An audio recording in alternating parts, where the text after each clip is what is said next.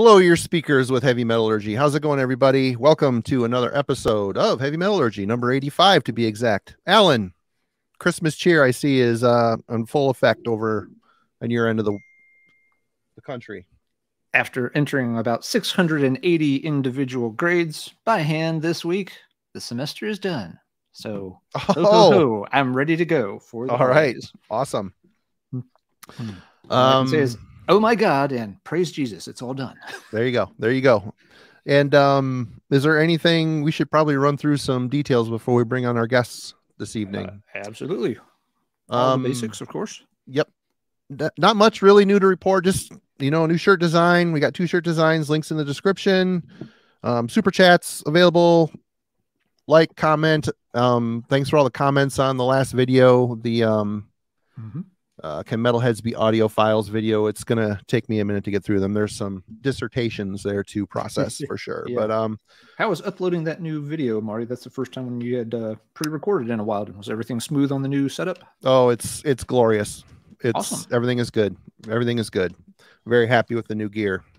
Good to hear. Good to hear. But yeah, thanks to everybody starting to join in the chat. Hope everybody's getting into the holiday spirit and yeah, ready to hang out for another Friday night conversation. We've got one returning guest and one new guest who we've been wanting to bring on for a long time, and the calendar's finally lined up so we could get it all to work out. Yeah, this uh, first guest is a gentleman I long time ago. Uh, we had uh, Dwayne Lazarus on last week. He was one of the inspirations for me getting into this YouTube stuff, and this guy right here also was a very big part of that. I watched a bunch of his videos and decided that it looked like a lot of fun and it's something I wanted to try as well. Um, not only that, but he is a very talented graphic designer. He owns a record label called No Life Till Metal. He is a member of the Metal Roundtable, which is another YouTube channel. To go check them out, links in the description. And he's done some other stuff too. But let's get him on here. Scott, welcome. How you doing, man? Doing well. Thanks for having me on. Thanks for joining us. Been wanting to have you on. You've been on the list for a while and just You have yeah, been on the list for a while. I finally just uh, decided, okay, we, it's time. We had Dwayne on. Now it's time to get Scott on. It's time. absolutely. Have you guys Um, had Greeno on bef- before? Never had Greeno. No. Hmm. He was one of those other guys that's been around forever that I that kind of got me into doing this whole thing. Yeah, I think he's just doing the uh, Metal Man Cave of Doom or the Man Cave of Doom or whatever. Yeah, yeah. He's not doing his own channel anymore, which is unfortunate because I loved his channel. he would show some cool stuff and it's kind of amazing the stuff he would find i mean like yourself i mean you've you've you've got your finger on the pulse of um just about everything it's pretty cool it's i always learn something new and i'm assuming we're about the same age so I think we have some similar stories in metal you like a lot of the same thrash that i do and then a whole bunch of stuff that i totally didn't know anything about so there's been a lot of times in your videos i've uh had a checklist afterwards that I went shopping for, but um, so thank you, I guess. yeah, I have that same issue. My wife hates when I'm watching these channels because I'm that's what I I literally have a pad next to my computer where I write stuff down or when I'm watching people's videos. right on, got to. Yep. Yep. But um, I do want to talk to you about No Life Till Metal. We'll just get going on that right away. I mean, you were a graphic designer. You work for a company. You've broke away. You're doing your own thing. You're doing predominantly, I'm assuming, metal covers and stuff, design. You do work with a lot of bands, and that kind of trickled down. And now you're doing your own record label as well. Can you talk about No Life Till Metal for a bit? And Yeah, I well, I mean, I, I worked at a printing company as a graphic artist for 27 years, and uh, I got a manager who was uh, trying to think of a nice way to say asshole, but there's no other way to describe it. Um, it's universal. You can we'll run it through the translator. yeah, um, yeah, he was just he was making my life miserable when I was a manager there. So my wife and I were like, I need to figure something out. I can't, you know, deal with the stress anymore. So um, I had been already doing some side work with some of the some of the record labels that I deal with now. So I'm like, I'm just going to go for it. We're going to quit my job. I'm going to give him plenty of notice, quit my job, and I'm going to, you know, start doing graphics on my own, whether it's music stuff or I don't care. I'll do wedding invitations. You know, anything's better than this. Yeah. yeah. So I, I literally went down to the city, got my business license. Um, they laughed at me in this at the city because I I gave him the name of the company. I said, "It's No Life Till Metal." He's like, "What does that mean?" I said, uh, "They said if you're not part of it, you're not going to know." And then I, they said, "Well, what is the, the description of the label?" I said, "Oh, it's going to be record reviews, record label, and graphic design. They're like, no, those things don't go together. That's what they actually told me down at the city hall. And I'm Like like, they know. Uh, I'm like, yes, they do. And I pulled my phone out. I'm like, here's a bunch of album designs that I do. Here's my website. Oh, okay. So they get, I got my license. Literally on the drive home, I called one of their labels that I was doing some side work for, and I said, hey, I'm, you know, I'm quitting my job and I'm going to do this full time. So if you need any work, let me know. That's awesome because we just fired our graphic designer and you're in. Nice. So Nice. that very first time, I, I've done every everything that they've released since that day, which is five years ago now. Wow. It's been And five that's- years. Wow. And since that time, I picked up um, three other labels that I do all their stuff for. Um, and then I've done some other labels where I've done, you know, they'll call me up. Can you do this? Can you do that? This is the onesie twosie thing, and or maybe they'll give me one or two albums. And but yeah, that's that's pretty much how it started. Uh, and the reason I got hooked up with the labels is because of the band that I was in. You know, I was on some of those labels, and when we put our albums out, I was always like, "Can I do my own covers? Can I do my own layouts?" And they're like, "Yeah, go ahead." of course, they didn't care because it saved them some money. Yep. so, so I get it. Um, but um, that's and that's how it kind of happened. And now I am working a bazillion hours a day trying to keep up with the labels and went from doing just the small labels to now I'm doing stuff with Capitol Music and um, Metal Blade and Century Media and a lot of those other labels. So, which is really cool. I mean, I'm not doing Yeah. it directly for them, but I'm working on, you know, stuff like Nevermore and and Mhm. Flotsam and Jetsam and you know, uh, Accuser.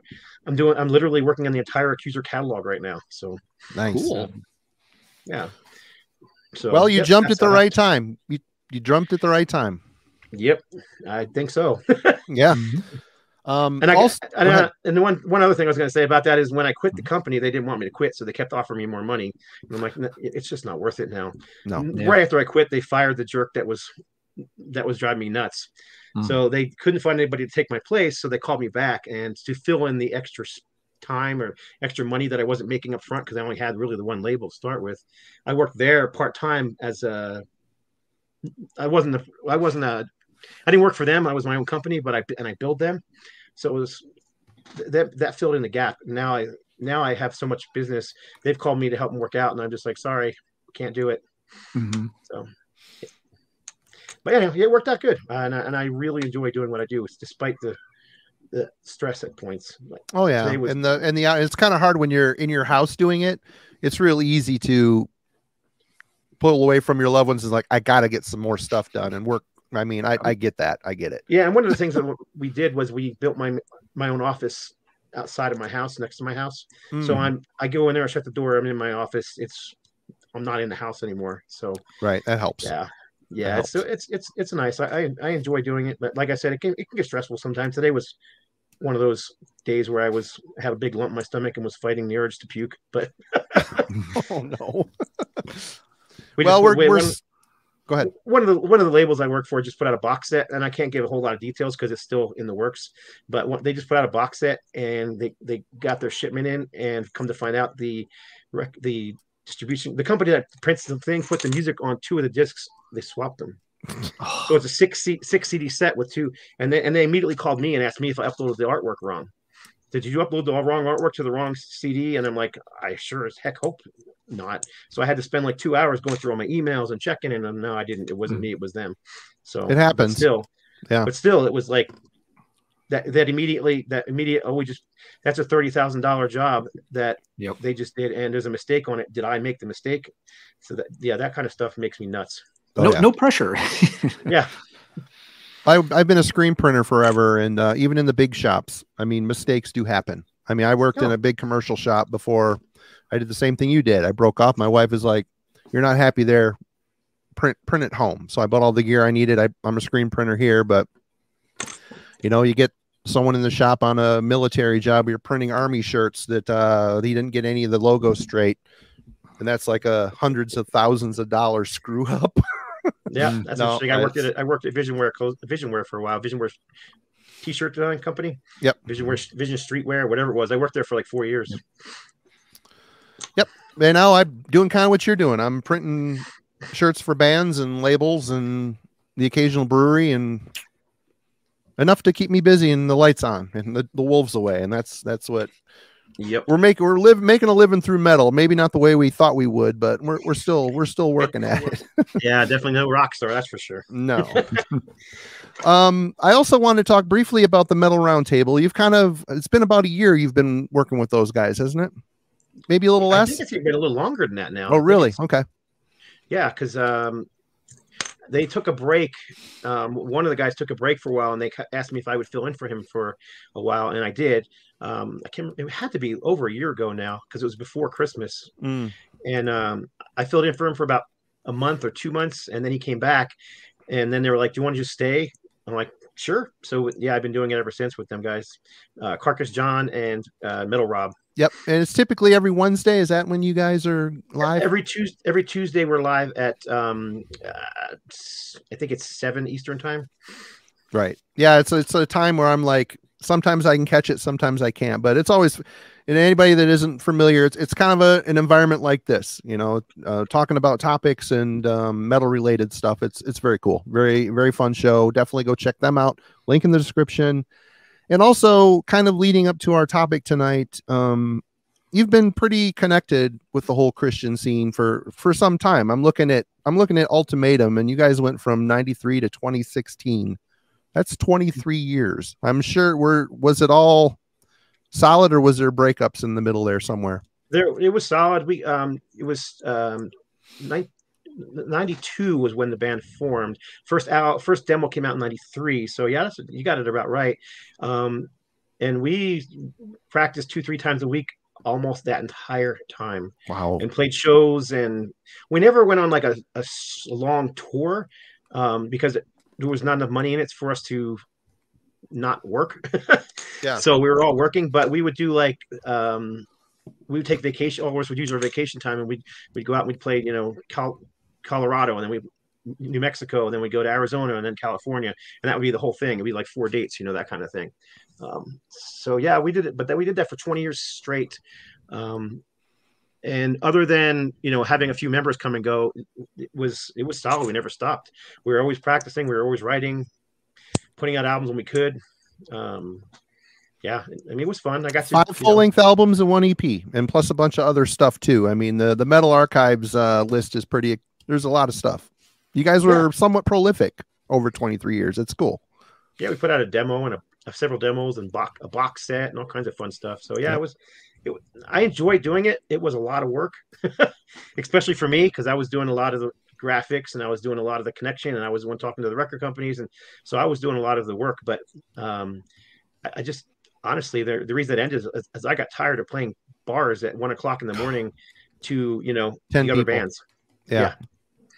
Um, especially in my own town where w- even in the 90s we'd play here and we'd play to you know we'd pack a bar out. But by the end of the 2000s it was we were it was a handful of people. We'd play in arizona and we'd get a crowded you know a full bar. Um, but we played here. It was you know you're playing to the other bar and somebody's girlfriend you know it, it was getting tiresome. It is. I mean, you start getting family things going on, and you're no one. I I don't think many people realize the behind the scenes of a band because they see you on the stage and they think it's all fun and games, but it's a lot of BS doing a it. A lot of bs I mean, the Mhm. practicing, the buying gear. I mean, you buy Merchan- gear, merchandise merchandising. You got to have people lined up for that, and then come help while you're playing. And then, of course, the humping gear. Humping gear is the worst fucking thing ever. It just is. Yes, Drum sets, it is amps. Um, pick it up, drive to the venue, pull it out, set it up, tear it down, go back to back and forth, back and forth, up and down. But what are you going to Yeah. do? It's part of it.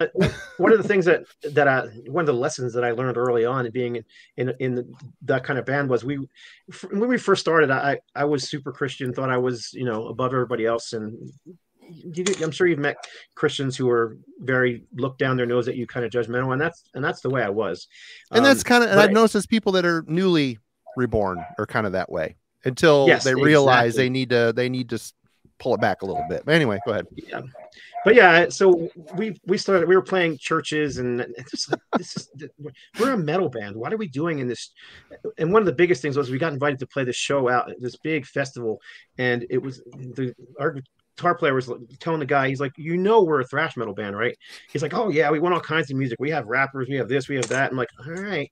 So we get to this festival, and it's out in the field, and it's there's people everywhere. The place is packed, and we're like, oh, right on. It's going to be a good show. There's lots of people here. We set up our table. We get mugged with all these kids coming up and buying merchandise, and oh, we love metal. We Can't wait to. See. And I'm like, well, cool. I'm looking forward to playing to you guys. Oh, we're not going to be able to see you. What? Oh yeah, the buses are leaving to take us all home at seven, and you guys don't go until eight. what? Huh? it was ridiculous. At least you sold merch. It was ridiculous. So then we we did another festival not long after that in another city, and the same thing. They had us playing, and the band before us was like this acoustic, you know, worship band, or whatever you want to call it and we're like, these people are gonna freak. it's all families sitting on blankets and that stuff. Yeah. So we get up on stage and we set up our full stacks and we're up there and we, you know, we, we get going. I mean, we're not even into the first song where there's there's a point in the song where all the whole band members start doing windmills at the same time. We didn't even get to that point when the entire crowd back got up and moved back you know, hundred yards from us. It was ridiculous. I'm like, and after that show, I'm like, this we this is wrong. This is not where we need to be playing. P- pick I up mean, your sandwich, Tommy, and don't make eye contact. yeah. So we started playing clubs, and this is where I learned the lesson about that that whole "I'm more Christian than you" crap. So we were playing a show, and um, it was our gig. We booked it. We were allowed. We were supposed to have three bands, so we asked a buddy of ours who played in another Christian band to play, and then we asked another band of ours, who friends of ours in a band called Dark Truth, who were not Christian band, and they we made them headline because they it was their equipment we were using. They had lights and everything. So we we get up there, we get there. The first band opens up, and he gets up there, and this is in a bar. In the middle of the set, he starts preaching a message about you know salvation and all this kind of stuff which I don't have a I, I didn't have a problem with it coming like yeah yeah yeah that's awesome you know go for it and then we get up there and we play we did our set um, I didn't I never did that on stage I was always we were a metal band so we just played our songs and then the last band played and then afterwards I went to the club owner to get our pay and he looks at me he said I should punch you out and not give you a damn dime. And I was like, what? I was like, we had there was people here everywhere. What's the problem? He goes, that band that you had open up was up there preaching and telling people not to buy my alcohol. He goes, I had you here to entertain the people drinking. That's what I hired you for, not to be preaching at them, telling them not to drink. And I was like, I apologize. I'm like, yeah, you're right. I'm sorry. I, I just didn't, I never even thought of it. You know, it's just I didn't think of it. So, yeah, it was it was an important lesson learned to to stop being so damn pious and just play your dang music. Yeah, right on. And the reason I, was, I shared that story is because you reminded me of it by saying hauling the equipment. One of the things that we decided from that point on was when we were playing with any other band coming in from another town, especially when we were, you know, they were lugging all that crap from their vans. One of the things we were going to do is our band was going to help them set up and break down. Didn't matter if we were opening or they were opening. We are just going to help them, and that opened up a lot of doors and kept me with friends for a lot of bands ever since then. Yeah, yeah. Good deal. Yep. And um, one more thing to to add. Um, you were a part of um, Vengeance Rising members started another band called Once Dead, which was like the name of the last Vengeance Rising album. I I used to own it. Um, mm-hmm. Same here you didn't make it on any of the actual albums, but you're on Return with a Vengeance video, and then also the Live in Anaheim, which is Live with a Vengeance, Live in Anaheim CD, yeah, that's this, right? Yeah, that right there. DVD here, yeah, yeah. How that was something after Ultimatum, or were you two bands were running in con? Two parallel? bands at one time. Um, yeah, oh, I, man. I it was funny back in I don't know 2004, maybe an earlier than that. I can't remember. We were doing a festival out in California in Anaheim, and there was another band playing at that festival. I think they were called Salt, and they were kind of like this Creed like band. And but in the band playing bass was Larry Farkas, the guitar shredder from Vengeance Rising. Mm-hmm. So we we in our set were doing a song called Burn by Vengeance Rising. It was a cover that we were just doing live. And he actually heard us playing it, came up to us backstage afterward. He's like, dude, if we ever do a Vengeance reunion, you got to come sing for us. And I was like, if you ever have a Vengeance Rising, Rising reunion, give me a call. Well, wouldn't you know? a few years later, I get the call and they were like, hey, we're going to be doing just one reunion show, which is this thing here, which is supposed to be a one off show. Um, do you want to sing for us? And I'm like, yeah. And it was supposed to be billed as Vengeance, but they were starting to have issues with Roger Martinez, the original vocalist. So I mean, literally the day of the show, they changed it to be "Once Dead." Oh wow! Because the set list from the show actually had the Vengeance logo printed on them. Mm-hmm. But in any case, it ended up I ended up singing, staying with them for two years. Um, uh, I started writing songs with them for the next for the new album. I wrote lyrics, song titles, and um, but then I got what I call the left foot of fellowship out of the band. So, um, yeah, Ultimatum was really popular at the time, especially in the Christian metal scene, and a lot of people were buying pre-buying the album who were Ultimatum fans, and they were buying it off our website, and because I had listed it there to go, you know, direct link. Well, one of the guitar players in the band didn't like the fact that Ultimatum was getting was pushing their sales, and people were. It was Ultimatum fans who were buying their stuff, basically. Hmm. Uh, who cares? Yeah, that's a good thing, isn't it? Yeah, I, I, thought so, but he did. He cared, so they they hmm. kicked me out. They actually what they did was they brought me out to California. They said sing on a, sing on these demos for us, and uh, so I and they they put the, the song on and I I sang it how I would how I was singing it, kind of that almost a death metal growl like like in mm-hmm. Vengeance, mm-hmm. not quite like Ultimatum. And they're like, "Can you sing it like Bon Scott?" Uh, okay. so I tried singing it a different way, and my bass player from Ultimatum was actually with me. And then they're like, "Try singing it like this. Try singing it like that. Try singing it like this." I'm like, "This is weird. What are you doing?" And then finally, they're like, "Okay, now sing it how you want to sing it." So I belted it out. They're like, "Sounds good, thanks." And then so I, and uh, like three, four weeks later, I got the call. You, you're you're gone. You're out. So um, hmm. Hmm. It was it, it was all they didn't want to be compared to Ultimatum. That's all there was to it. Ah. And so instead, they got a metalcore singer and who was a super nice guy. Nothing against him at all, but they were playing thrash metal with a metalcore singer, and it just didn't work for me. Mm-mm. But they ended up not using any of my lyrics. They did use a couple of my song titles, which is is what it is. But um, and they used the idea for one of the songs that I sent them, but they didn't actually use my lyrics. So I ended up taking those lyrics and using them on the Heart of Metal album for uh, Ultimatum when we put it out in 2012. Hmm. So do you miss it? It's been a while. I miss the stage. That's the only thing I miss. Yeah, yeah. Uh, I, I like I liked being on the stage. If you ever, you you've been in bands, so you know. I mean, there's a there's an energy that you feed off the crowd from, and and I loved that. You know, it didn't matter if there was two people in the audience or 500 people in the audience. You know, I was I, I just there was an energy on stage that we gave off. I walked off stage drenched and exhausted because we always put on the best show we could, no matter who was there. Right, right. Well, that's awesome. I would I would bring our other guest on, but he got a phone call and he walked stepped away. So we're gonna give it a minute here. But um, well, thanks again. Thanks for coming on. It's been really cool. And people, please check out um, Scott's channel, No Life Till Metal. Uh, it's under your name, or is it under both? I, I, it's under both, isn't it? No, it's No Life Till Metal. Yeah, my YouTube channel is No Life Till Metal. Links, the links in the description. Either yep, either way. Roundtable, the Metal Roundtable. Go check them out. And of course, um, Ultimatum stuff is readily um, available online to check out. And I think you even have copies of stuff still available, don't you? Yes, all, of our albums have been repressed on vinyl and CD, and you can get them at just about anywhere, Amazon.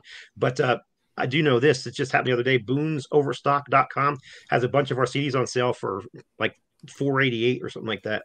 Hmm. Four dollars and eighty eight cents each. Wow! wow! Yeah. Well, I'm going to bring Aaron on, and he's just going to have to catch up when he's back. So everybody's going to have to stare at an empty spot here. But um, I've got some obvious questions. This first one is pretty stupid question. But um, what is it? Christian metal. What is it? Hey, Aaron, you're live, by oh, the way. uh, uh, uh, to me, it's just metal. It's all metal. Metal is metal. Everybody's got something to say. Everybody's got a story to tell. Everybody's, you know, it, it's all metal to me. I don't care if, if it's, you know, Vengeance Rising or Venom. It's still metal. Um, the only the only difference is the lyrics. Uh, I, I, always found it ridiculous that Christian metal became its own genre because it's not. There's thrash metal, there's death metal, there's black mm metal, there's all these different forms of metal with Christians singing in them. Who the heck cares what the label you put on it is? Um, I actually got into a big fight with a record store once because I went in. Ultimatum second album come out, Puppet of Destruction. I went into Hastings. Remember that chain? Yep. Mm-hmm. I went into Hastings because that day the Mortifications album and the, and the Ultimatum album was coming out on the same label at the same time, and we had major distribution through Diamante at the time. So I went in to buy. I just wanted I wanted to buy my own album because our first album was independent. You can only buy it, you know, through mail order, which at the time was literal mail order. Um, but this album was on a label with distribution. So I went into Hastings, and I was like, I went to the metal section. I found the mortification, and then I went to uh, look for the ultimatum. It wasn't there, so I said, I went up my ass and said, "Did you guys get the new ultimatum CD?" And they didn't know I was in the band. And uh, he said, "Let me look." He looked on the computer. Oh yeah, we got it in. It's it's over in the gospel section. it's in the gospel section. So I walk over and I look in it, and it's in there with like BeBe and CeCe Winans and and mm-hmm. Amy Grant and stuff like that. And I was like, I said, "It's metal." He goes, "Oh, it's on a gospel label." I said, "It's on the same label as this Mortification album." Sorry, but it's gospel. I'm like, okay, whatever. it's it's metal. It's all just metal. So, Sir, I'm, I'm telling you, this is a gospel CD. You should not buy it if you don't want a gospel CD while you're in the band. it was, it's just, it's ridiculous. So That's, I actually, yeah. after he walked away, I grabbed this, I grabbed this, this because there was three CDs there. I kept one for myself, and the other two I took them and I put them in the middle section. So, right. but it didn't matter. That meant in every single Hastings, it, it was sitting in the gospel section where no one was going to find it. I know, I know. For me, when I was younger, you know, when I first started becoming aware of it, and I wasn't brought up religious at all. And I just, for some reason, it offended me. And the more, the older I've gotten, you start looking like all these bands that I like, they're singing about Satan. It's kind of the same wheelhouse. It comes from the same, the same belief system. The only thing that makes it scary is the people that are singing the Christian stuff really do believe it. Whereas 90% of the satanic bands, look at Venom. They didn't believe it. That was shock and awe. That was not. That wasn't. Yeah, yeah. They're selling. They're selling a horror movie. You know. That's and that runs got a rampant. good idea of what to do with the uh, Venom stock there. right. But um. Okay. Next question. We we established what it is. Um. Who is it marketed towards? Well, honestly, that's a problem. Because this is this to, to me is where I used to buy Christian albums in in the in the Rainbow Bookstore, which was a, a, a gospel uh, religious exactly. store. Nowhere so, else, just there. Now, this is a story I can tell you direct from Vengeance because I was in the band. They told me this was when they signed to their the light label was Intense Records at the time. I'm sure you remember Intense Records. Oh yeah. Mm-hmm. Okay, now they were they were being distributed by Medusa and Enigma and um, uh, Capitol Music. So they were that's what they well right after they signed with them, the the label got bought out by a Christian label and it became a strictly Christian label and started being sent into bookstores. Vengeance were beside themselves angry with the whole thing because they were like, what's the point of that? If, if you're if you're honestly a Christian, you're trying to reach the world and tell them the good news, right? The gospel. You're not trying to go into churches and, and tell youth kids that already know it. Up. So to me, it's always been marketed to the wrong. Again, it's metal. It should be marketed as metal. It's not its own genre. And it really, I mean, if they want, if they truly want the, the word to get out there, I mean, I'm friends of mine here in town are in this band. In fact, TJ is the singer for my band, The Glorious Dead, and guitar player. Well, not my band, it's our band, but the band that I'm in. Yeah, Feast Eternal.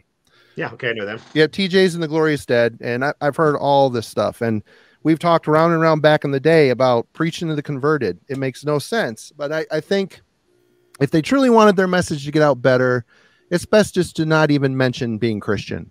Let people get into the damn lyrics and say, Discover "Oh, wait a minute, what the hell is this?" If you got a big sticker on it, if you like Metallica, you'll love Tourniquet or whatever the mm-hmm. fuck it was when you were in the Rainbow Bookstore. They had, if you mm-hmm. like this band, check out this band. You know, type they they marketed it towards the converted, and that's marketing it as second rate too. You know, that's what's really second rate. Yeah, yeah.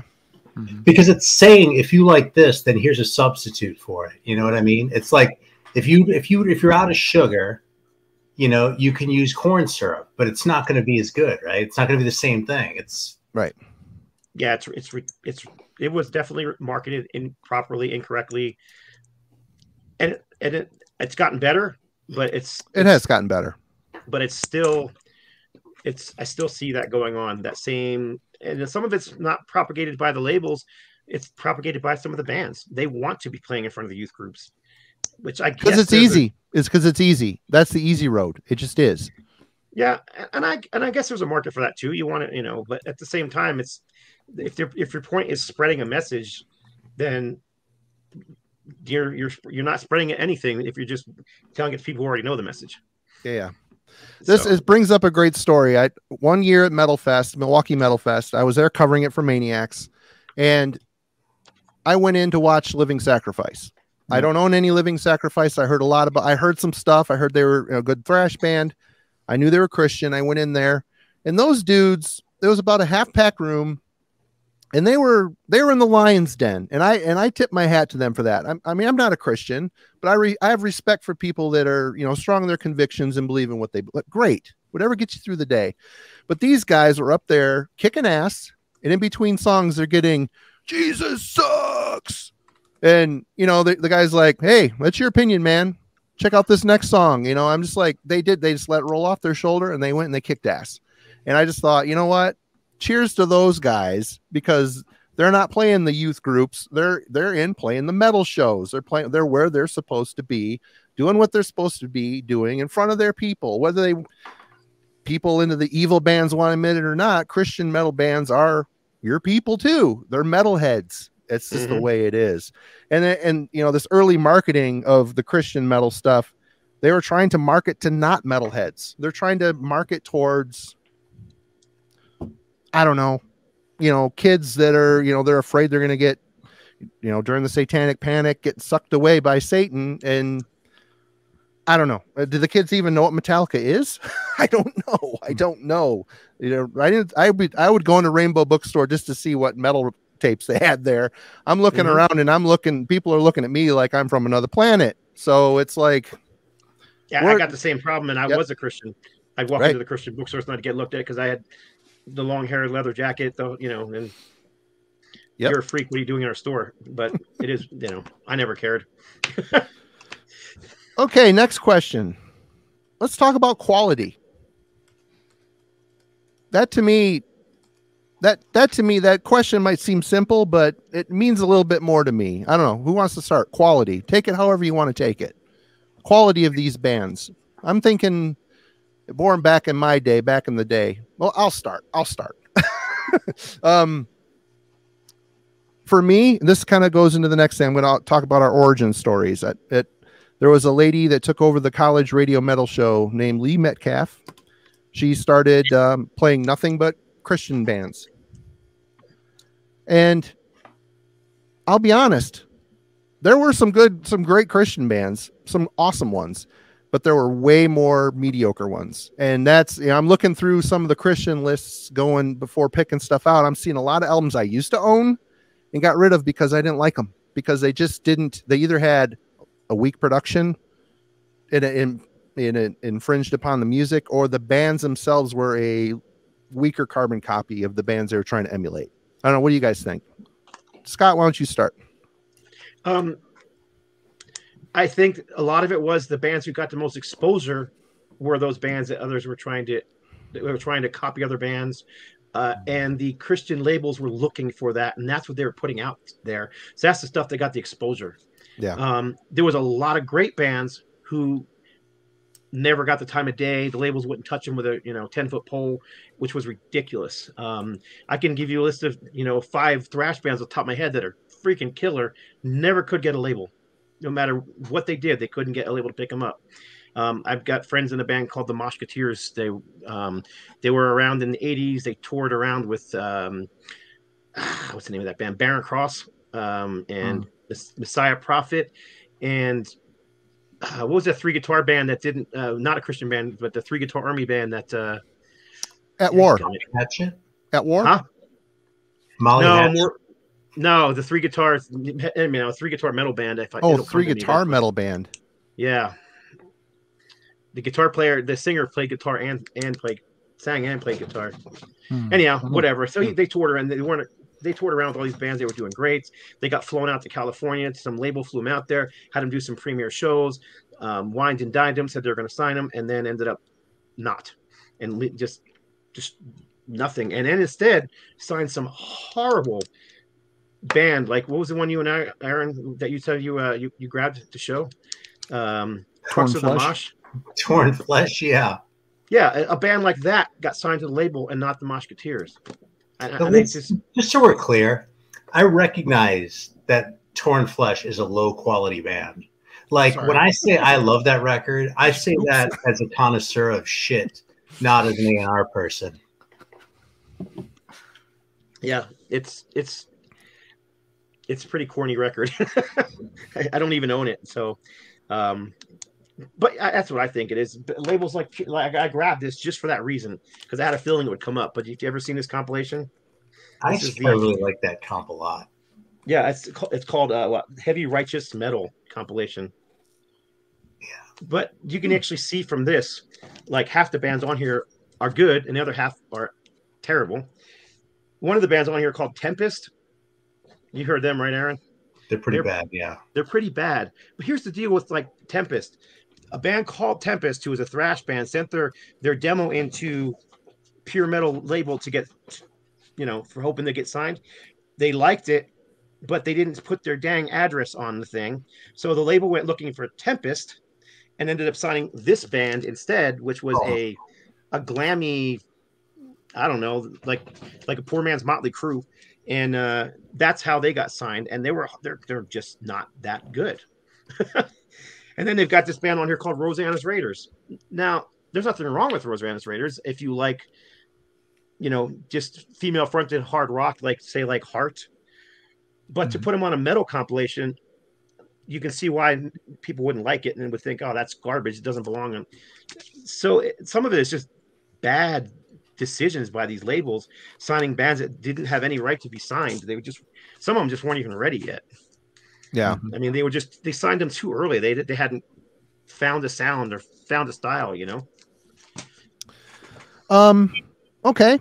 Anybody else have anything they want to add to that? Um, the quality part, Alan, Aaron. Yeah, I'll throw in two cents. I I Yeah. agree with what folks have said. Um, you know, for me, there was you know a distinction could often be made.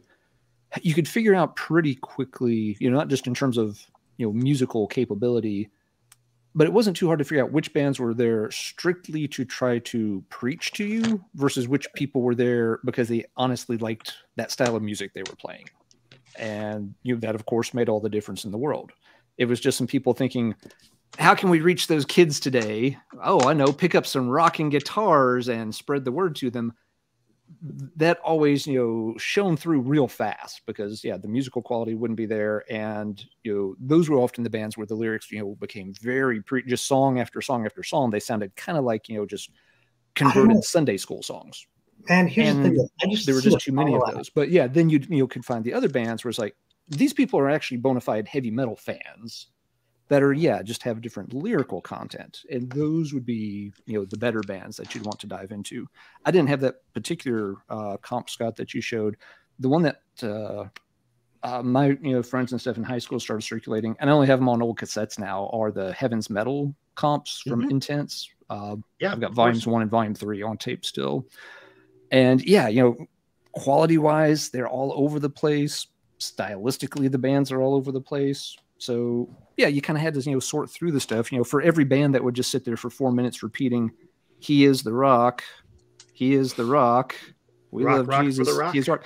But you know, then you know, three songs later, you'd be like, whoa, here's a band that actually can rock out and there may be a Christian message in the lyrics, but that's not their emphasis. They're a metal band with Christian lyrics, not a group of trying to get other people into Christianity by pretending they like, you know, metal, trying to pantomime that they like heavy music to appeal to yeah, the, the troubled youth of the day or something. So yeah, that was kind of you know how we uh, tended to approach it. You know, is this band you know got some chops? You know, and are, are they putting the music first or are they putting the message first? It- that was always a big distinction for us. Yeah. See, I got to play the contrarian a little bit here. Sure. Because this record, I just listened to this earlier. Oh, that's a good one. I forgot to pull that one. Dude, this record now, if if Which one is it, Aaron? it's it's Final Axe, I, I was taking the plastic off. I'm trying to get better about this because I always leave the fucking plastic on. Okay, so Beyond Hell's Gate by Final Axe, which I guess is like a demo or something from '89, but this label Steel Legacy did a reissue of it, and they did a whole bunch of shit that I love. I kind of think they're like one of the underrated reissue labels. But anyway, um, thi- this if you're if you're like put off by the whole preachy thing, or if like that is separate from like good like metal for you, then you know you might not be up for this one because this one is really preachy and really in your face that way, and like really specific too. You know, like um, you know, baptized in blood and you know, blind faith and that sort of thing. Okay, are you ready? You know, but then like soldier of compromise is like attacking people who are like Christian if they're not like strong enough. Like if they're not like forceful enough as Christians, you know what I mean? So this record is really heavy-handed, but I swear this is one of my favorites. This record is so good. Phil mentioned he's a great guitar player. Great thing rocks. And I'll tell you, these guys might have spent half the show preaching, but I'll bet it was a great show regardless because they were they were doing something right in the music department, even if maybe their priorities were a little misplaced from my point of view. you know, because I'd want to put the music over it. The- The other thing you could say about the Christian metal bands is they had way less money to produce the music than a lot of the mainstream bands had. Hmm. Um, so they were a lot of them, even back in the '80s, were self-producing their albums. Um, so the quality of recordings was definitely an issue, and there was also the issue of it, the message was more important than the music. Um, I always saw that, and I still see it to this day. Um, I have a really good friend who plays in a band that I love from Pennsylvania, and they were fairly well known in the 80s. I'm not going to say their name because I don't want to embarrass him, but they put out a new album a few years ago, and he sent it to me to listen to, and I and I listened to it. I'm like, this is unmemorable. This is like this. It sounds like a almost sounded like a guy preaching a message at church, and there was music playing in the background behind him. There was no hooks, no memorable stuff. Really good prog metal behind him, but the whole thing just fell apart because the guy was just preaching a message over top of it, and I had no idea what he was saying, uh, and I and there was nothing memorable. You turned it off, done. So I- think that is definitely a, a problem with that style because the message is so important to them. That's what they concentrate on rather than music. Yeah. And I think that's I think that's a problem with a lot of Christian stuff. Christian film industry. My goodness, there's some terrible Christian movies out there. Again, the message is more important than the, than the than the delivery. But if the delivery's bad, I've said it over and over again. No one's going to listen to it. No one's going to watch it. Mhm. So Yep. that was never my thing. Ultimatum was a metal band, and I told people that all the time. We are a bunch of metal fans in a metal band. That's what it is. Well, you guys sing Christian message, yeah. That's because I'm a Christian and I write the lyrics. So, and not every song was Heart of Metal. It's just a song, you know, fist bumping song about heavy metals. It's- we just wrote what we wanted to write about. So, anyhow, that's my take on it. Well, um, we've all kind of like. I, I had, or we probably need to start showing records here. We're going on almost an hour, jibber jabber. But um, Sorry, I can I can definitely talk if you can't tell. no, no, it's all good. It's all good. Um, I've already mentioned how I got in, started hearing uh, Christian bands, and it was through that that radio show. Um, Aaron, let's start with you. What's uh, what was your origin story into this style of music? Well, it's funny to start with me because mine's like backwards here, but I'm actually really into telling the story, especially because I'm seeing people watching who are like, yeah, I never paid any attention to this stuff and blah, blah, and this and that. Because I was right there in that boat. Okay. I listened to Stryper back then, and I really wanted to like Stryper because, you know, I was still believed then and I wasn't that kind of Protestant. So I didn't completely understand it, honestly. I, I see that in retrospect. I didn't see that at the time. But um, I just thought they sucked, man. I just thought they were crap.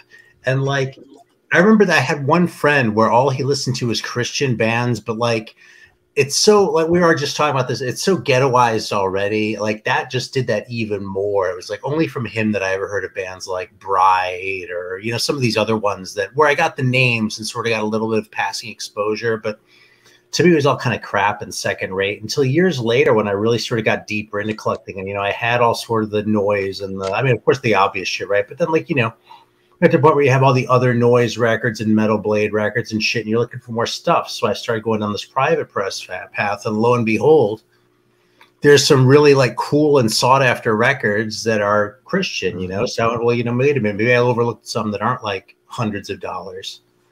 And sure enough, you know, the more I, I found some that I really liked, you know, I sort of dipped a toe in with like, you know, early bride Yep. and like, um, I mean, that Messiah record just always bubbles to the surface. That's one of my favorites. But some of those kinds of bands, right? And then sort of with time, I was able to sort of uh, build my way up to like Messiah Prophet and some of these other ones. I still don't like Slayer. I mean, Slayer, uh, Stryper.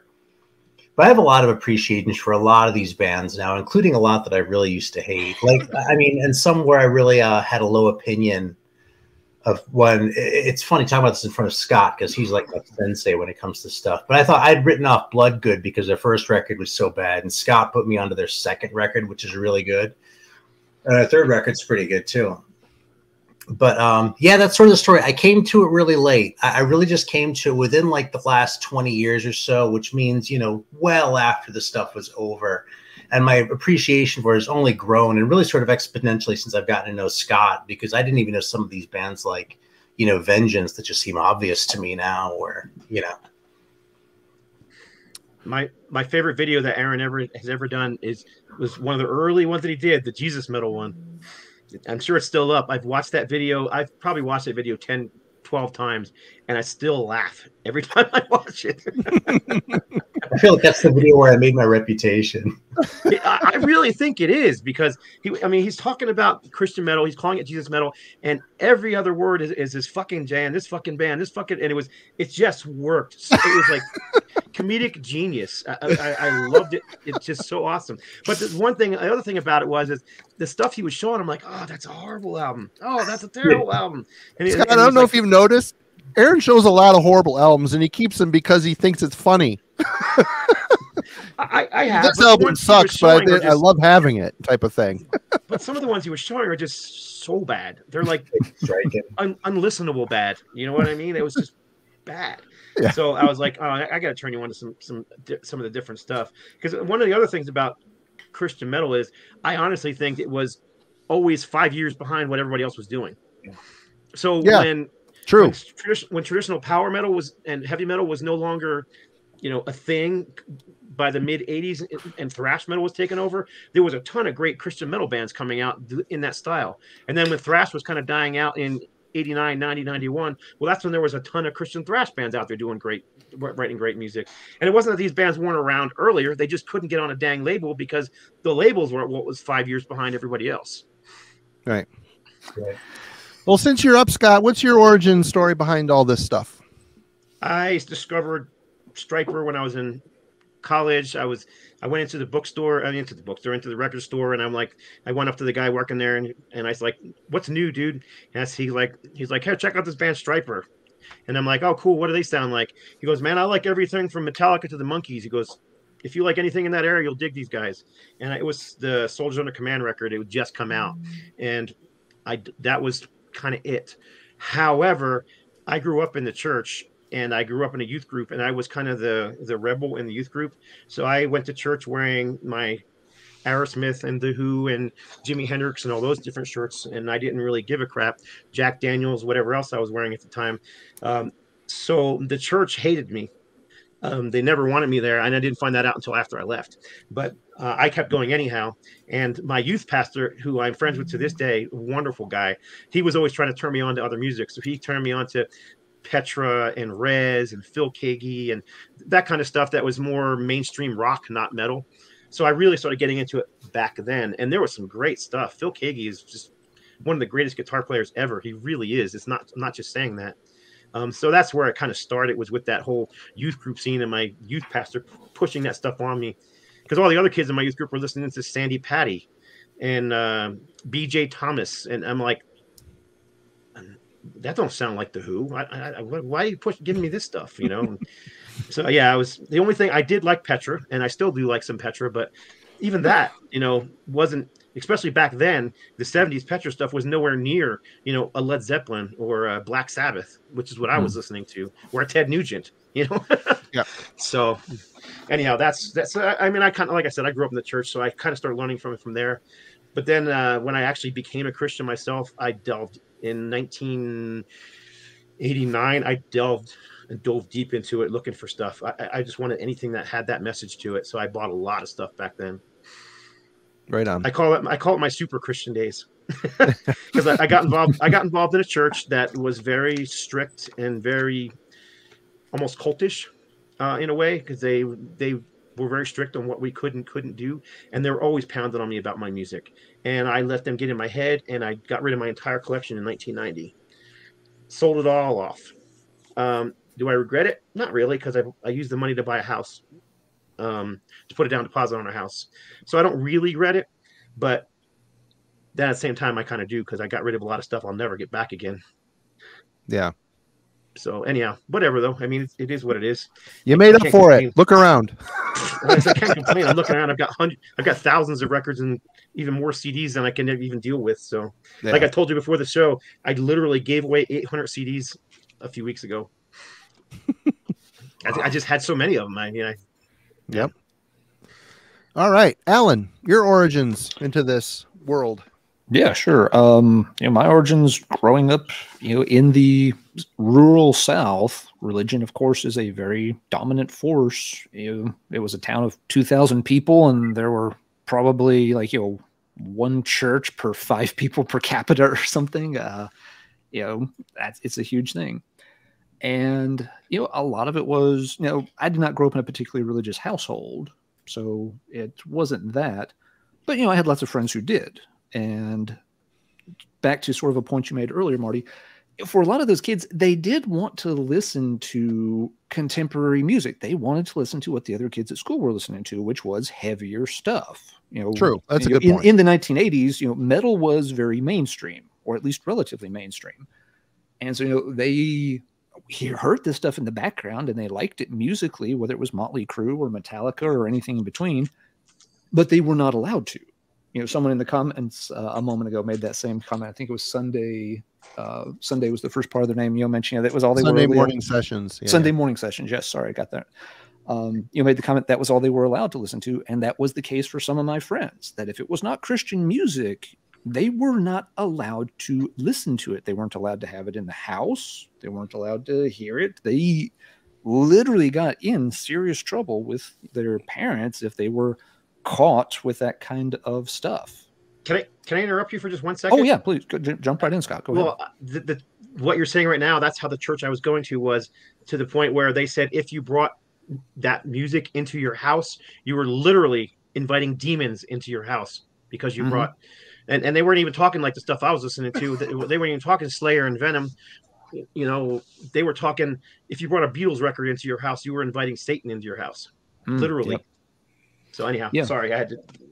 Oh no, no, that's that's a good example. Yeah, I mean, I had a friend. I had given her, I you know, the live uh, Halloween EP. You know, and Halloween's about as far from anything satanic. You know, it's almost it's got a Christian undertone. Well, a lot of those guys are Christian. yeah, and Yeah. very much.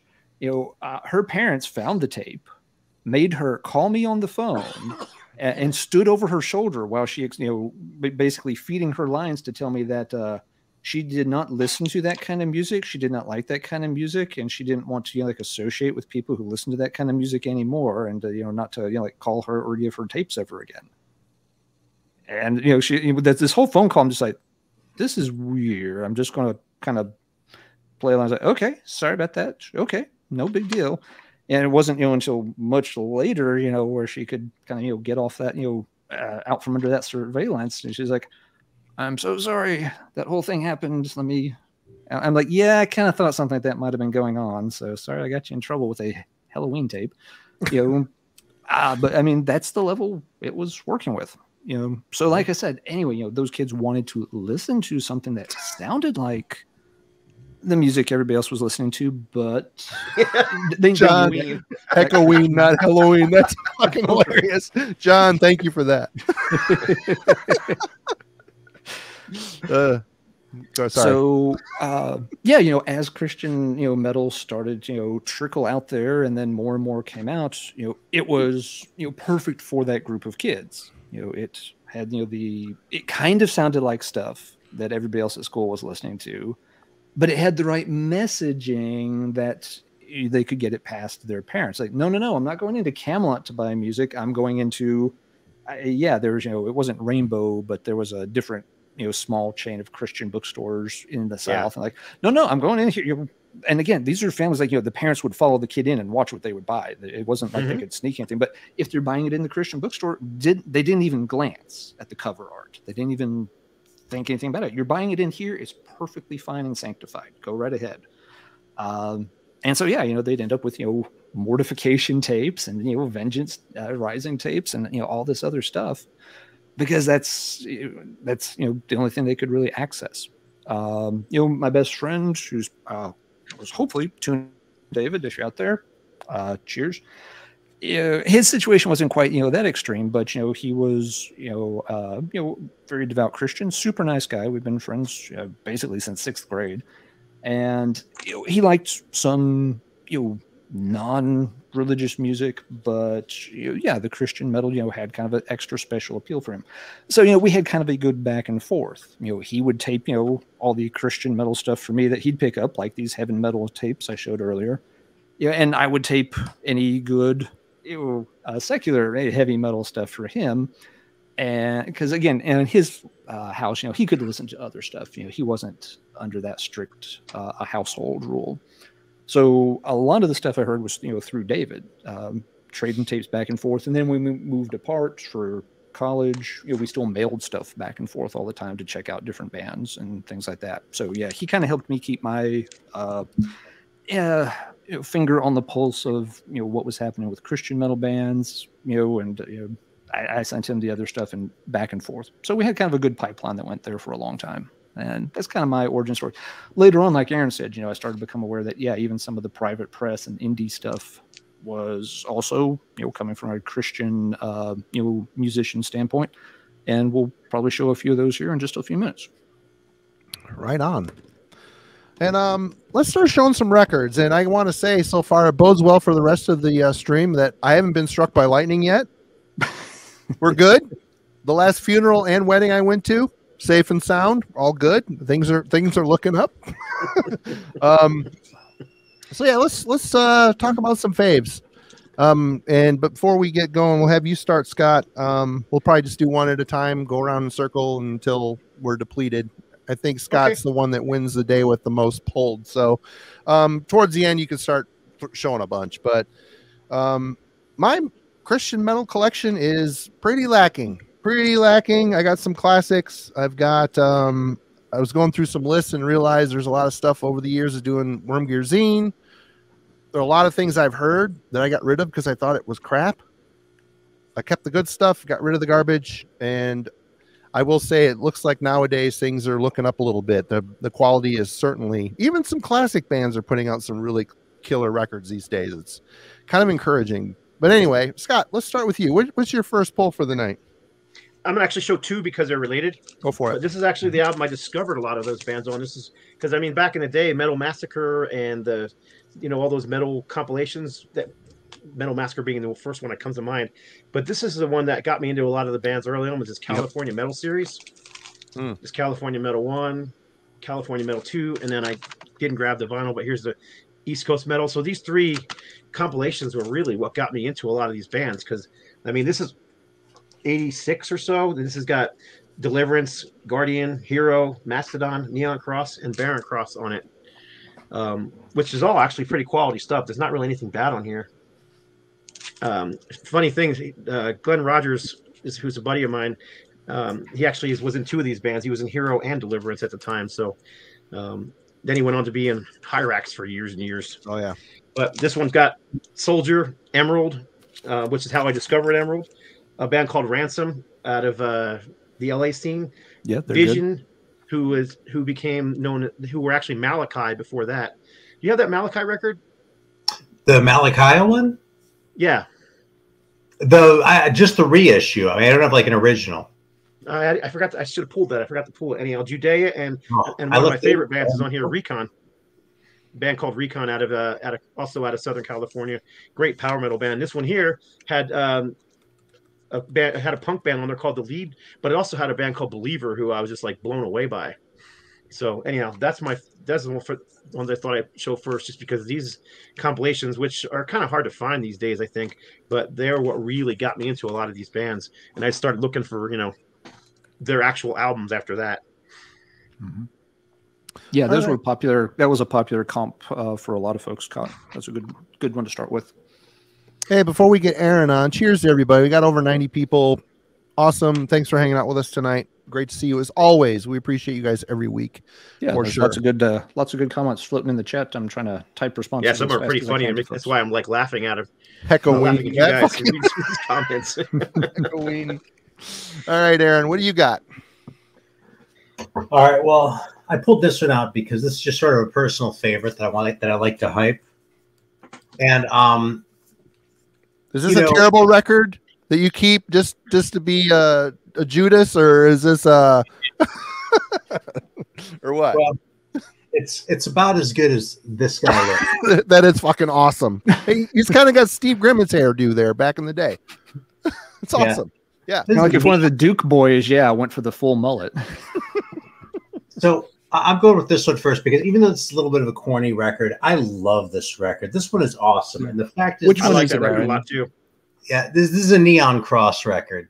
Okay, yeah. Never if I heard of ask guys, just by the way, if I ask one thing I've noticed is watching some of these episodes back, sometimes we forget to say what it is, and then listening to it, people have no idea what the hell we're talking about. so apologies if I So- nag about uh, uh, naming what album we're showing. Uh, So Good talked- point. Good point. I Go ahead. talked to about how I wouldn't having been raised Orthodox that like I didn't always get Protestants, and like the idea of naming your band Neon Cross as something pious didn't make sense to me. To me, that was disrespectful. You'd be like, you know, you put the cross in neon. You know what I mean? You it's you- you're respectful. You know, so that's that was already bizarre to me. But the other thing is the label Regency. Pure metal tends to take flack for having kind of the corniest and kind of the lowest common denominator Christian bands.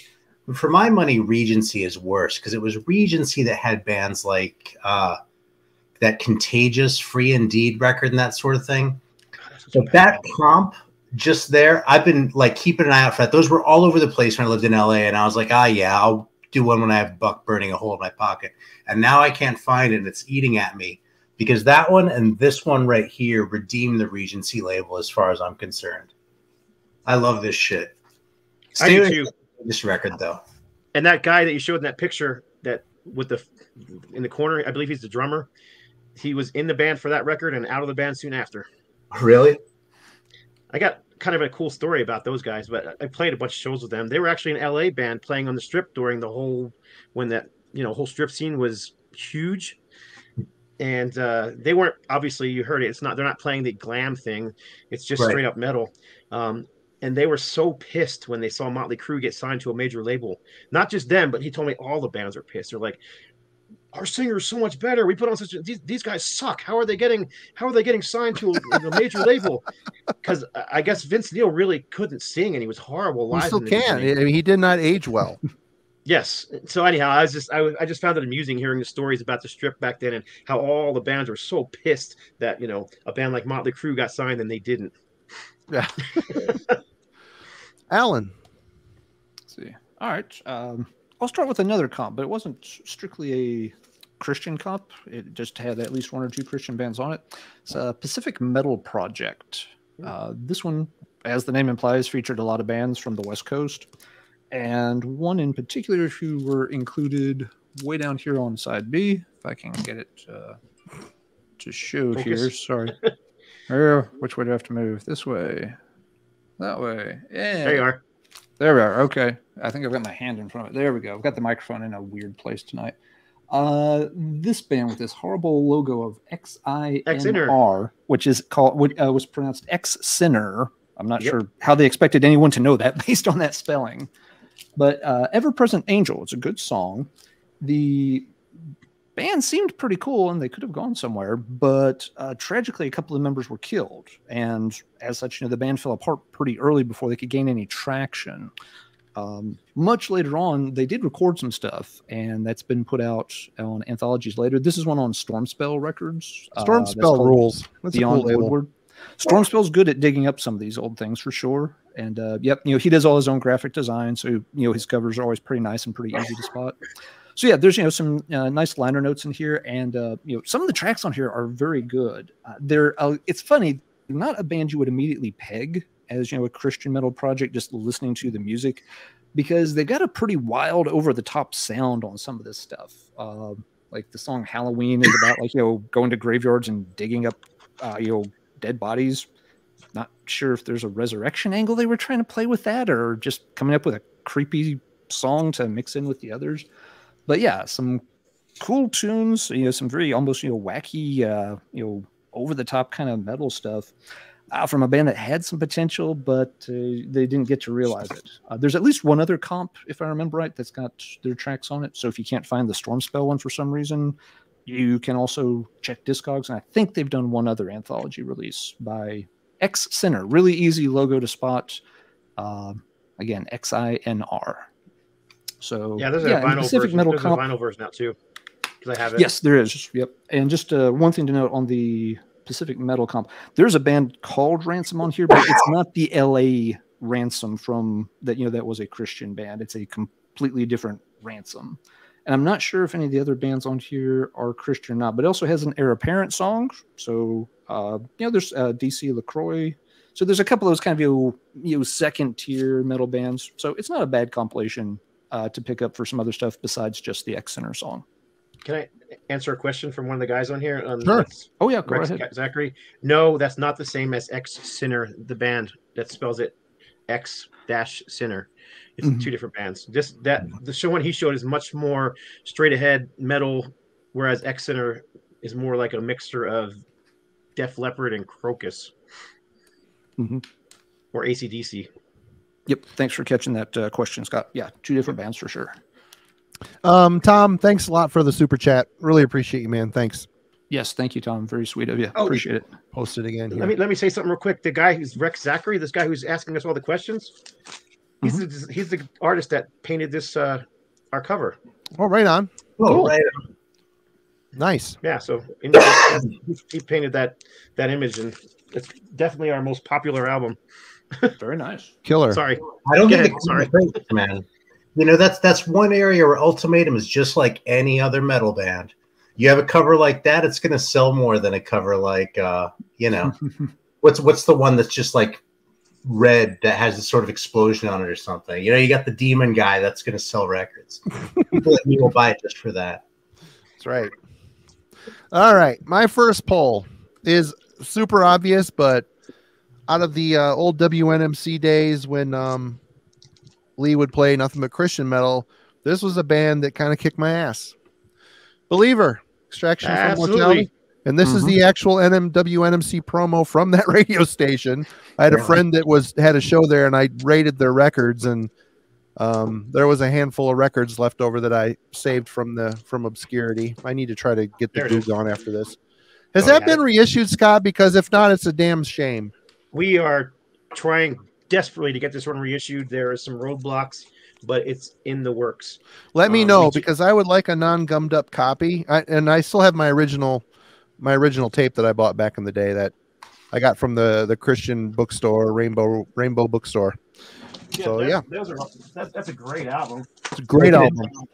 I can attest to the fact that Scott's been working with those believers for years too. I've been talking about those for a long time. See. I have not heard. I have not heard anything past Dimensions or their third. I have not heard anything past their third album. All this new stuff, I have not heard any of it. I don't know. I didn't pull this out. I just had to, had to have it behind me because I actually worked on these. But if you like that album, check this one out. Is This that called Gabriel? Oh yeah, yeah. Uh, that's Gabriel. Gabriel, yeah, it's it's on. It was Metal Blade release. It's freaking fantastic, and it's even better on that vinyl because the the original album was lacking in the mastering, and the mastering on here, the bottom end just, just it'll destroy your speakers. It's awesome. right on. nice. Yeah, yeah. Believe someone made the comment here about Ga- Believer being a good gateway band, and that is very true. You know, as y'all spoke about earlier, sometimes you know early on, you know, and even into the later '80s, quality could be an issue, or there was always the stereotype, at least, that Christian metal bands weren't as good. And Believer was one of those bands that really did help start to dismiss that stereotype a bit. I remember that getting reviewed in a couple of different zines back in the day, and you know, they literally would start out being like, "Yo, yes, this is a Christian metal band, but trust us, you want to hear this band. Well, you, this is just a good heavy metal album uh, Yeah, to check out were when they were one talking about like, dimensions and some of the and uh, the second album uh, and stuff. So yeah, Sanity believer, yeah, believer did a yeah yeoman service kind of in uh, helping give some legitimacy and get a lot of other people to check out uh, a Christian metal band. Yeah, we talked earlier about you know reaching, going, not in, playing for the youth groups. They were one that was. I mean, they went out and toured with, um, was it uh, Sacrifice and Bolt Thrower? I mean, Awesome. you know, so that yeah, that was that was they weren't interested in playing, you know, youth groups. So yeah, anyhow, And I, And, and I did they could have played on that tour. That they they actually they're they're not out of place on that bill so much. and I did not mention uh, "Extraction from Mortality" is the name of the album by Believer. Sorry, but Alan's right. We need to not assume and say the name of the album. I forget. that's that right there is a grail for me. I've been trying to get that. That's the only one I'm missing on vinyl. The one that Aaron. I feel a little guilty that I have this and you don't. I just kind of lucked into this. And I don't really deserve it compared with you, but this is indeed a fantastic album. Dear Aaron, stay metal. Yep. well, that, no, that, that's not even me. It's uh, it says thanks a lot. Like they signed it uh, to someone else, I think, but I'm not sure because it's kind of rubbed off with time. But I don't know. You know, I don't. Well, let's put it this way: I got this for a fraction of what it normally sells for. So I got I'm that Yeah, at I'm really hoping those first two albums will get re- re- reissued.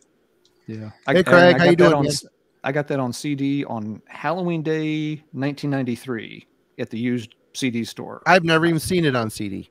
Oh, I which remember- one? San- Sanity Obscure. I have it on CD, but I'm talking Yeah, about you. Extraction from Oh yeah, yeah, the Sanity Obscure. Yeah. Yeah, because I remember we were, uh, yeah, we were decorating for Halloween, and I took a break and walked down to the record store, and they had gotten a bunch of decent stuff in, and that was one of them I picked up, and then took it back and played it the rest of the afternoon while we were decorating the dorm for uh, Halloween.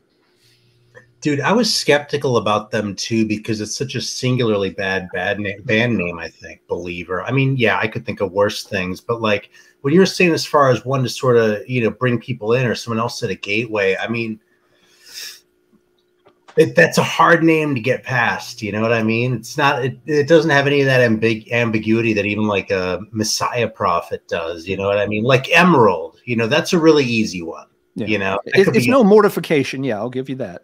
yeah, mortification. That's the one. But believer, you know, but but they're, I swear they're one of the best. There was also a single that was released with that album, Huh. Oh, awesome. I've never seen that. oh, cool. and the single was released. It was a Roadrunner thing, but they were sending it to radio stations, and it's got an anti-drug PSA on it. So there, it was a PSA and a way to promote the album. Drugs are bad, okay? Don't do drugs, or you'll sound like us. All right, Scott, you're up next. All right, look at this pile of crap. Know where to put it. Um, I kind of have these in order from like old stuff to newer stuff. So um, earlier he was talking about the Swedish scene. Oh, I think that was before it went live. But yeah, I've always been. It's like this. Uh, I'm I'm kind of fascinated with the fact that there were so many Christian bands from Sweden. Oh, yeah, but it is. But you know, it seems like all the bands were American or Swedish, and given that Sweden has so many fewer people than you know the Netherlands or Germany or Britain or so many other places, it just seems odd that there would be this concentration there. You know. Yeah, and this is this is one of those bands. This is Leviticus. This is their first full length album. They had an EP before this one that came out in 79, 80, I think. This is early 80s as well. Um, this is actually an ori- original pressing. I there was a, I have a repressing of it too, but um, Jag Skall Segra. This one's actually sung in in Swedish. And then there, oops. There's their first U.S. release, "I Shall Conquer," which is actually the same as Jal Sag Segra. It's just English lyrics and re-recorded. This Oh, version's better because it's a little more raw. This one's a little more polished. And then this is uh, the strongest power.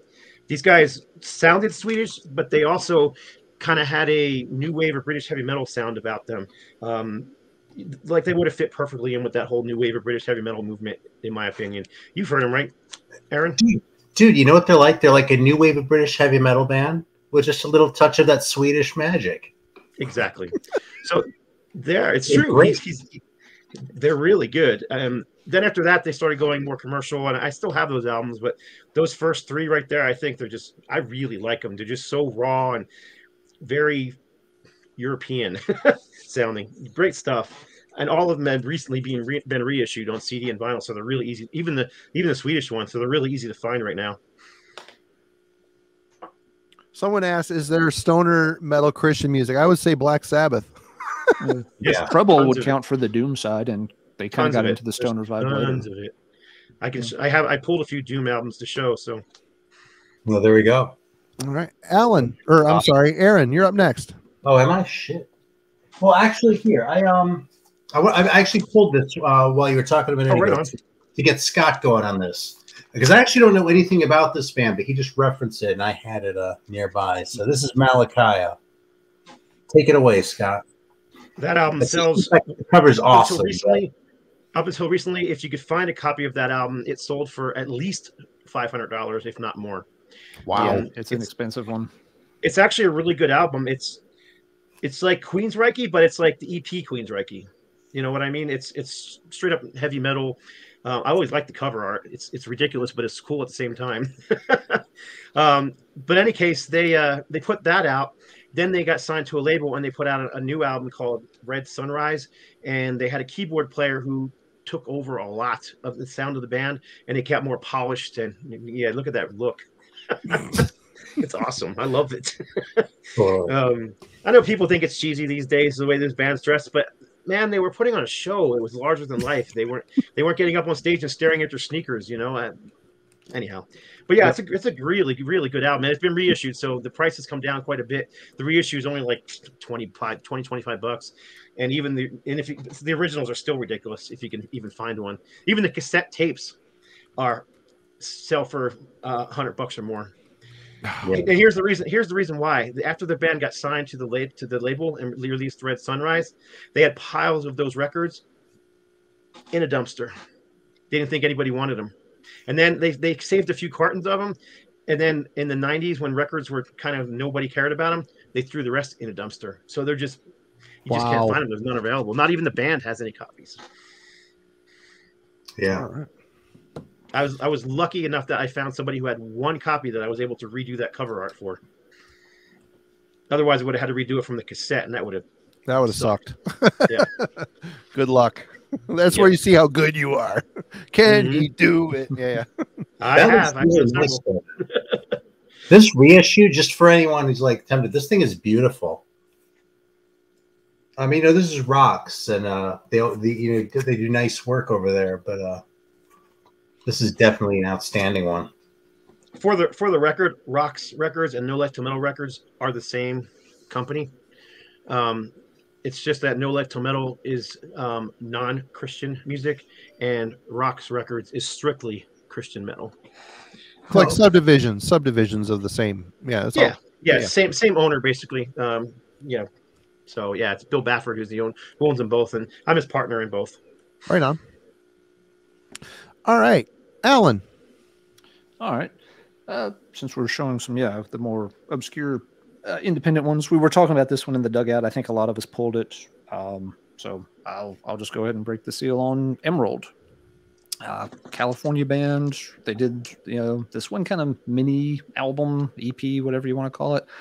Uh, it. Armed for Battle, and it is a fantastic heavy metal record. You know, this is one that doesn't matter what they're singing about. You know, musically great stuff, traditional heavy metal. Some of the tracks have a little bit of a doomy heaviness to them. There's literally one called "Winds of Doom." Uh, Mhm. Very good vocalist, good clean sound. Uh, just a very heavy release, and this is one that, yeah, not quite as bad as the uh, Malachi that Aaron just showed, but this has always been one that's been hard to find. And Is that an original pressing?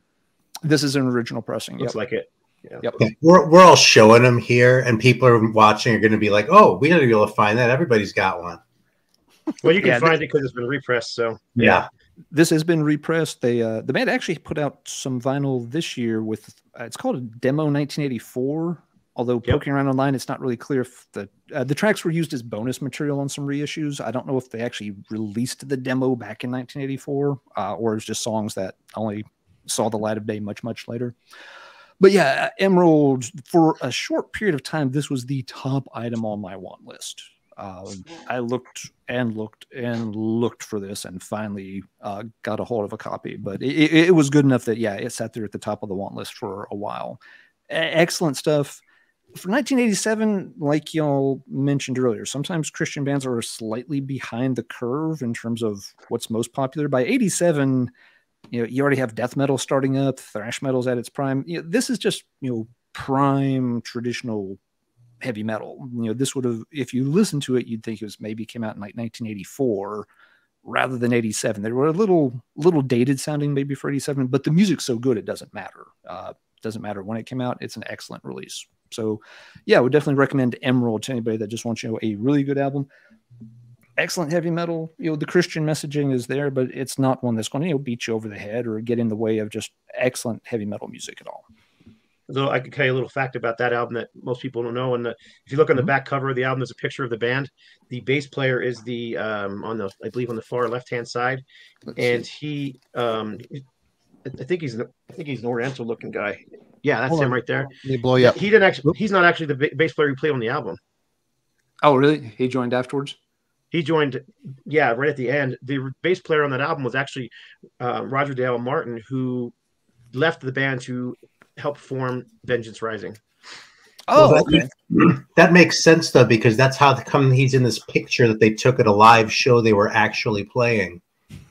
Larry's looking like a badass.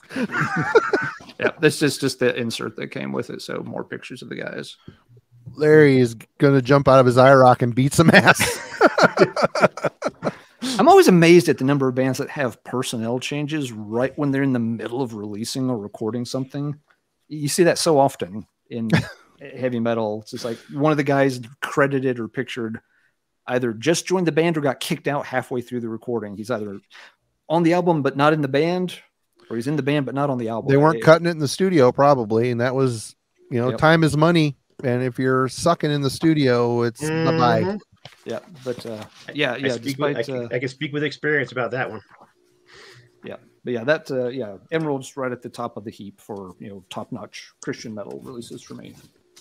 All right, so I'll just leave this while I pass it over to you, Marty. You, you know what's funny? Real quick about that Emerald record. Oh, sure, go ahead, Aaron. I told this story in a video before. I got that record because I I was still living in LA at the time actually, and, came- and someone had one, and they wanted way more for it than I was willing to spend for it. But um, they wanted they were interested in trading, and they were looking for soundtracks. I had a bunch of shit I just gotten for like nothing, like at shops around LA. Damn it, Craig. This guy a bunch of soundtracks. I didn't give a crap about getting the Emerald records. So now every time I like hear people in videos or whatever, like Mr. Bizarro and shit, he'll be like talking about these soundtrack records. I'll think, oh yeah, soundtracks. I used to have soundtrack records, but I traded that Emerald record. you know, it kind of makes me feel good. Like, yeah, I did the right thing. Mm-hmm. Thanks, Craig. We appreciate you, man. Thank you so much. you're much too kind, man. Much too kind. We'll get you back on soon. Cheers. Yes, we've already well, we've already we've got a tentative date with Craig. We're waiting to see if one other guest can join us uh, for that show. Right So on. it's in the works. In the works. I'm, I'm working on it. Right on. No, you've been awesome. Thanks. Fat Um, guy in a fat guy in a shirtless vest is always a good look. Um, First- yep. Well, this band I didn't realize was even a Christian band until some years later after buying this record. And the cool thing is, there was a record show here in Traverse City, which is not rare, but they're usually not good. Some guy came up from downstate, set up a table, had a bunch of cool metal stuff. I got this original Brutal Records pressing for 15 bucks in really good shape by Incubus, Serpent Temptation. Oh yeah, someone just mentioned that in the uh, Yeah, the, I saw people clamoring for it, so I figured I'm, I had it in my stack. I might as well move it to the front. But um, a couple brothers, yep, uh, Moses Howard and Francis Howard, guitars and drums. Power trio. These guys ended up, of course, getting problems with their name because the more popular shitty In- Incubus, I think, Yep. uh, gave them a cease and desist. Even though these guys were way before them. Yeah. Um, there's also a new wave of British heavy metal, Incubus, way before them. True that. For Yep. another night. and um, they ended up changing their name to Opprobrium. But uh, yeah, this is really good thrash. This is kind of like proto death. It's thrashy, but there's a little bit of death metal going on here. And these guys are always really killer. And I never in a million years knew these guys are Christian until I heard about it one day. And I looked at the cover and went, duh. I mean, it's, it's kind of obvious. I mean, thanks, Mr. Obvious. I guess just didn't really ever pay attention, but I did um, the same thing, man. Yeah. Killer record. Mhm. They had an album after this. I can't remember the name of it. I don't own it. the unknown, maybe. So yeah, uh, yeah, yeah. Or- yeah, I, I had that one. it's got the yeah. Reaper on the cover, Yep. bluish. Yeah, yeah. bluish, more of a bluish color. Yeah, it's yeah, it was a decent album too. This album and that album were both reissued, I think, by Relapse, and they were under the name Opprobrium. So You know what? Opprobrium is a bad band name because when you say that word, it sounds like what Europeans think Americans sound like. I thought you were just going to say it's not appropriate. I mean, it's yeah. You See, it's a good vocabulary word, but like That was a dad joke right there. yes, it was. There will probably be more. He is the grim overlord of bad jokes, and we love him. All right. You're up, Scott. they fooled Oh. Zoller too. There you go. I'm gonna show um, the next one I'm gonna show is a new wave of British heavy metal one. It's not the album I want to show. I wish I had their first album, and it's been on my want list forever, and I don't own it. But this is um, 100% proof. They were an early 80s band out of UK, part of that whole new wave of British heavy metal movement. They released a single, which I'm also trying to find desperately, uh, and then their first album, which I don't own either. This is their second album called Power and the Power and the Glory. But it's just, I mean, it's exactly what you'd expect from you know thing, new wave of British heavy metal is not really a sound either, because I mean, you got Venom and Raven and Tank and all those bands who are really heavy. Then you've got you know bands like Def Leppard that were much more commercial.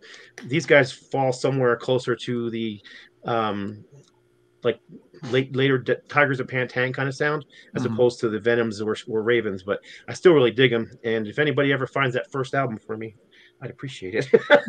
I just Yeah. can't find one for at, at, at all. There is a copy of the single on on eBay that's been sitting there for three years that I keep watching, but he won't drop his price, and he wants eighty dollars for it. I'm just not paying eighty dollars for a single. Yeah. It's a So, rare yeah. single, but yeah, it's that's that seems high to me for it as well. If he's sitting on it for three years, that ought to tell him something. Yeah, exactly. Yeah, it's, it's still there. So Yep. Yeah, I hadn't thought of that band in That was a quick that's, A, that's a good one, Scott. I hadn't thought of that band in ages. Okay. Aaron, I'm going to go use a little boys' room while you guys talk amongst yourselves. I'll be right back. All right. Well, shit. You know something? I'll just go ahead and bust this one out. absolutely. There you go. Yep. Talk, talking of heavy hitters from the independent uh, kind of scene. Yeah, this is. Uh, you know something?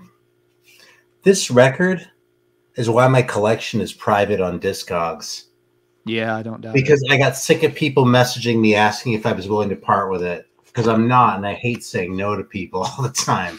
but this is like uh, this is just such an all-time favorite and there's so much you could rip on about this record you know what i mean Mhm. it's kind of has an aor sensibility. There's uh some kind of corny sound effects. It's like very preachy in places. Like it has some of the cheesy courses but the way everything comes together is just absolute perfection.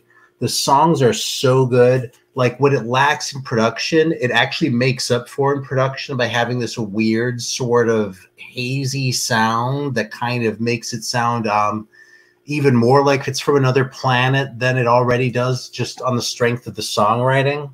I was gonna say ethereal.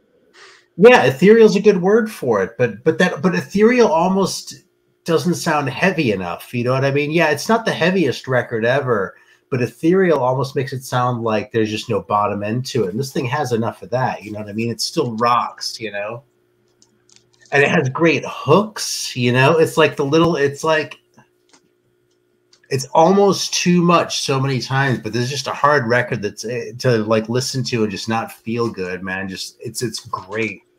Just every song is awesome. And they have a second What do you wanna album add? out too, right? You, you have the EP, right? Which is I don't have the EP. really? Why don't you get it? I mean, I, Yeah, why, Aaron? Why Well, don't you no, I have the get reissue. I don't have the original. Why not? Oh, it Everybody's got has to be the original. I mean, the the, re- the reissue is fantastic. It sounds really good. Plus, it has their '78 um, demo on it. Hundred percent. Hundred percent. I completely agree. If you don't have this and that EP and you're watching this, I swear you better go get it before they both dry up. If you can only get one, then grab the one that you can grab because the EP is just as good. Yeah, and for folks that aren't aware, yeah, the EP Well, we're the EP, referencing not only is, that, is the one of those like thousand dollar type items for an Yeah. original press. It's insane. I'll grab it real quick. Here, talk for a sec. I'll just grab it. Yeah, But go the re- yeah, the reissue is really well done. They did a great job with it. Um, I, I didn't work on it. I did get to do the album. I did get to scan the covers for both of the reissues because nobody had them, so they hired me to do this to re restore the covers. Um, Oh, So that was kind of fun being able to do the Messiah covers, Mhm. but it That's wasn't cool. for one of the labels I usually work for. So Mhm. Yep. But yeah, But yeah, the album that Aaron showed is very, very rare. The the e, the original EP is. I know a little secret of. about that band as well that most people don't know. They recorded a third album that was never released. I think I've heard that somewhere before, but yeah, I've never heard the album, but I think I remember that. Yeah, they had some unreleased stuff. Yep, that's the that's the reissue right there. Of the that's the EP. Is that the original? Just oh, add Oh, that's the, I can tell it's the reissue because the reissue. The only difference between the front cover of the reissue and the original is that stupid little white line underneath of the shadow right there. See the shadow from the ball? Oh yeah, right there. Yep, it was supposed to bleed off the edge and they didn't bleed it. Oh, that's And only funny. somebody, only a stupid graphic designer like me would notice something like that. But I'll hold it like this. there you go, perfect. Now it's perfect. hey, It listen though. really, it really It's irritated me when it came in the mail, and I was like, "Ah, come on." Yeah, you've, Um, you've already uh, you've already sold one Messiah to uh, Zoller tonight, Aaron. Yeah, Zoller just went and bought a, a, a Messiah record. here's here's the thing about this record okay now this is, was originally a four track ep and what i'm holding in my hands is uh, an eight track lp okay now normally i'm very i'm pretty hostile towards bonus tracks okay but this is totally an exception these extra songs are great the whole thing flows as if it were an album. It's not like it's just a bunch of alternate takes of the same song or something like that. The two songs on this that are the same as on the album were actually um, they're, they're different versions but uh, they were actually on the original ep everything on here is uh well there are a couple songs that are on the album again too. This has lucifer and final warning off the demo from 79 that scott mentioned earlier but this thing's totally worth it too. So don't don't like look at it and go oh it has all these bonus tracks and bonus tracks generally suck they do but not on that record You're the only person I know of that hates the bonus tracks on stuff. I always like, oh, cool, it's got bonus tracks. That's what I used to do, but then I had like hundreds of albums where the bonus tracks were crap. And and like and of like the ones where they weren't all crap, it would still like kind of mess with the arc of the album. You know? All right, Alan. All right. Uh, let me check one little. thing Holy here. shit! Tom just checked. There's an OG copy of that on Discogs right now, going Well, for fifteen hundred yeah. bucks. Someone's not- asking, hang on, someone's asking fifteen hundred. They're not going to get that. No way. No. For that original EP, somebody fifteen hundred is not that out of the question for that original EP. I would saw my penis off and feed it to a dog before I paid fifteen hundred bucks for a single. Amen. That is specific and vivid at the same time, and has nothing to do with buying a record. but uh, but it- but no, you know, it, that, I know it sounds crazy, but no, for an original copy of that EP, uh, y- you're not going to touch it for under a thousand bucks unless you just you know stumble into you know that you know once in a lifetime kind of flea market find. It's it's a it's a it's a thousand dollar plus item. It just is. If it bleeds, we can crop it. oh, that's a good one. All right, uh, Chat, chat's on fire tonight. Cheers, everybody. yes, folks are having fun, and I'm glad to see it. So let's talk about a little band from Chicago. Not that one. Somebody will talk about them later. Uh, I'm talking about a band called Commandment. And they had a very good traditional galloping heavy metal style, borrowing you know, from the classics of A- Maiden and Priest and such. They only got they recorded a bunch of music, but they only got one actual product out back in the 80s. Uh, it was a seven inch single and it was released on a label called Amethyst Records, which I think is stationed here in South Carolina, where uh, I'm at. Funny thing about the label, it was sort of a tax shelter kind of thing. The folks that ran it were just, yeah, looking for ways to move money around and stuff. But they ended up with a few different heavy metal singles released. Uh, the band Carnage did one, and this you know Christian metal band from Chicago somehow ended up on the label for uh, the single. It's got engraved in stone and Oriental Maiden on it, and really good stuff. Yeah, again, if you just like you know your you know sort of up tempo traditional heavy metal from the first half of the '80s, this is an excellent slab of it. There's some funny you know things with the band. The single, for reasons I cannot explain, there's a different version of the single. Again, this was a cheapo label. They were just looking for ways to you know to you know write off money and make it disappear but they actually put out some copies with a black label instead of the silver label.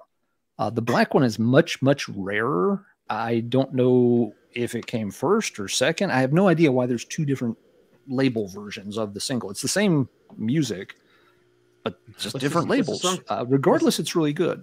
What's the, The band had called? recorded a bunch of stuff, but it didn't get released until much later. Uh, OPM Records put out uh, their 88 recordings as engraved in stone. I think this came out on OPM in 1999, the first time around. Um, let's see, here's the guys in the band. Yeah, and again, very solid album. It also got released later on. Oh, excuse me. It got a now OPM never did CDs. So it got a CD release years later on the uh, Greek label Arkeyn Steel, who always did a really good job of digging up these 80s and 90s US obscurities that had only maybe had like a cassette release or something back in the day. So yeah, uh, Commandment, you can also get it on CD, no problem. And they also recorded another album's worth of stuff in 89 that came out under the name No Mercy. And that album's also fairly good and also available through Arkeyn Steel. So, yeah, it's kind of funny. They recorded a bunch of stuff, just I guess they didn't get label interest, or I don't know if the band had fallen apart and just nobody pursued it at the time. Scott, you might know. But yeah, you can get two different versions of the single, and then you can get you know two full albums worth of material that just didn't see the What's the light of day for a couple of decades. What's the A side of that single called? Uh, let's see. You've got engraved in stone on one side and Oriental Maiden on the other side. cool. You had one I don't didn't know, so I just wrote it down. Now I'm gonna Oh, look for it. okay. Let's see. I'm pretty sure both songs are on the album. I know Oriental Maiden is. I'm checking to see. Yeah, if but I'm a, I have, I love seven inch singles. I'm always looking for them. So I, I think that 45 might turn out more than that album now, too. Hey, you want to know a fun fact about that LP? Absolutely, I do. So you know the um you know the death metal sampler on noise, the early one, the classic one? Yep, yep. hmm The guy who sold me my copy for 20 bucks is the guy who painted that cover for the commandment record Oh, really? Goofy. for OPM. Yeah. Okay. 20 bucks. God. This is 20 years ago. But I sort of met him in the early days of eBay. I bought a ton of shit from him and I was looking for that one. And he said he could have thought he had it, but he couldn't find it. And he Mhm. turned it up and it was like 20 bucks.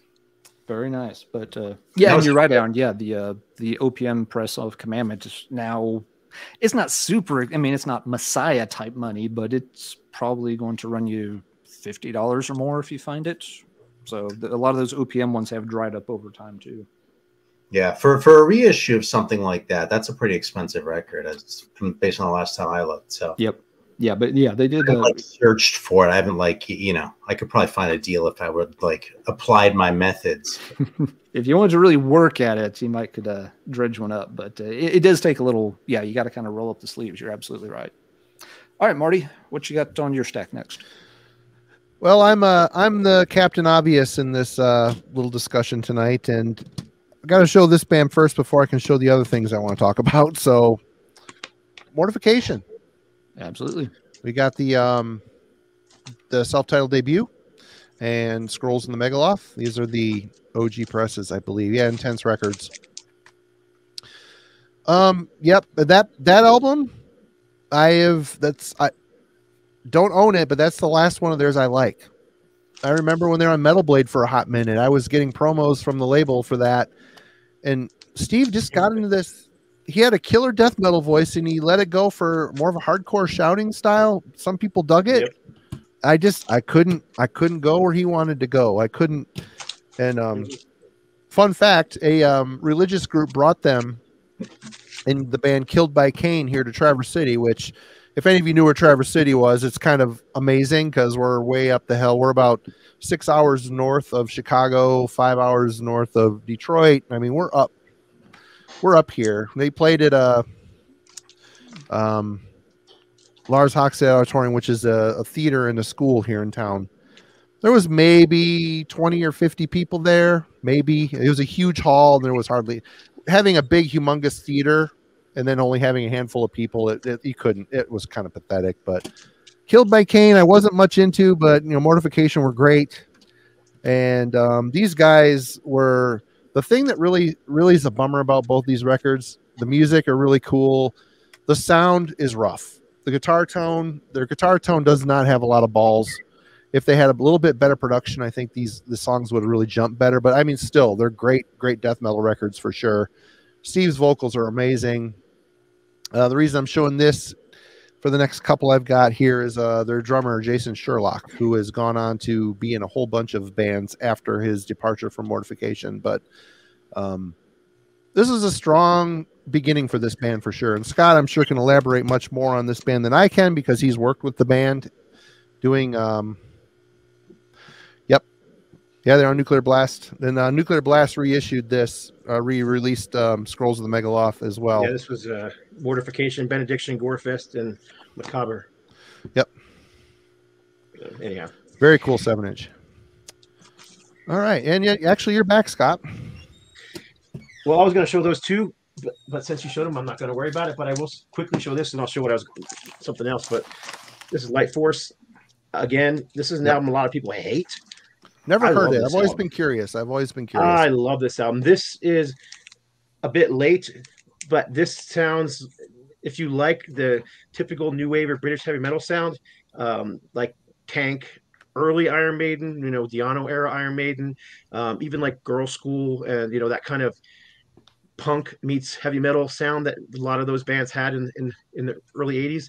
That's what you get with this. Very influenced by, you can tell he's a huge Steve Harris fan on this thing, but it's very influenced by that sound. And it's, this is, this is Mortification before they changed their name to Mortification. So uh, basically the first album um, called Break the Curse was, um, that came out I think Nuclear Blast released it as well.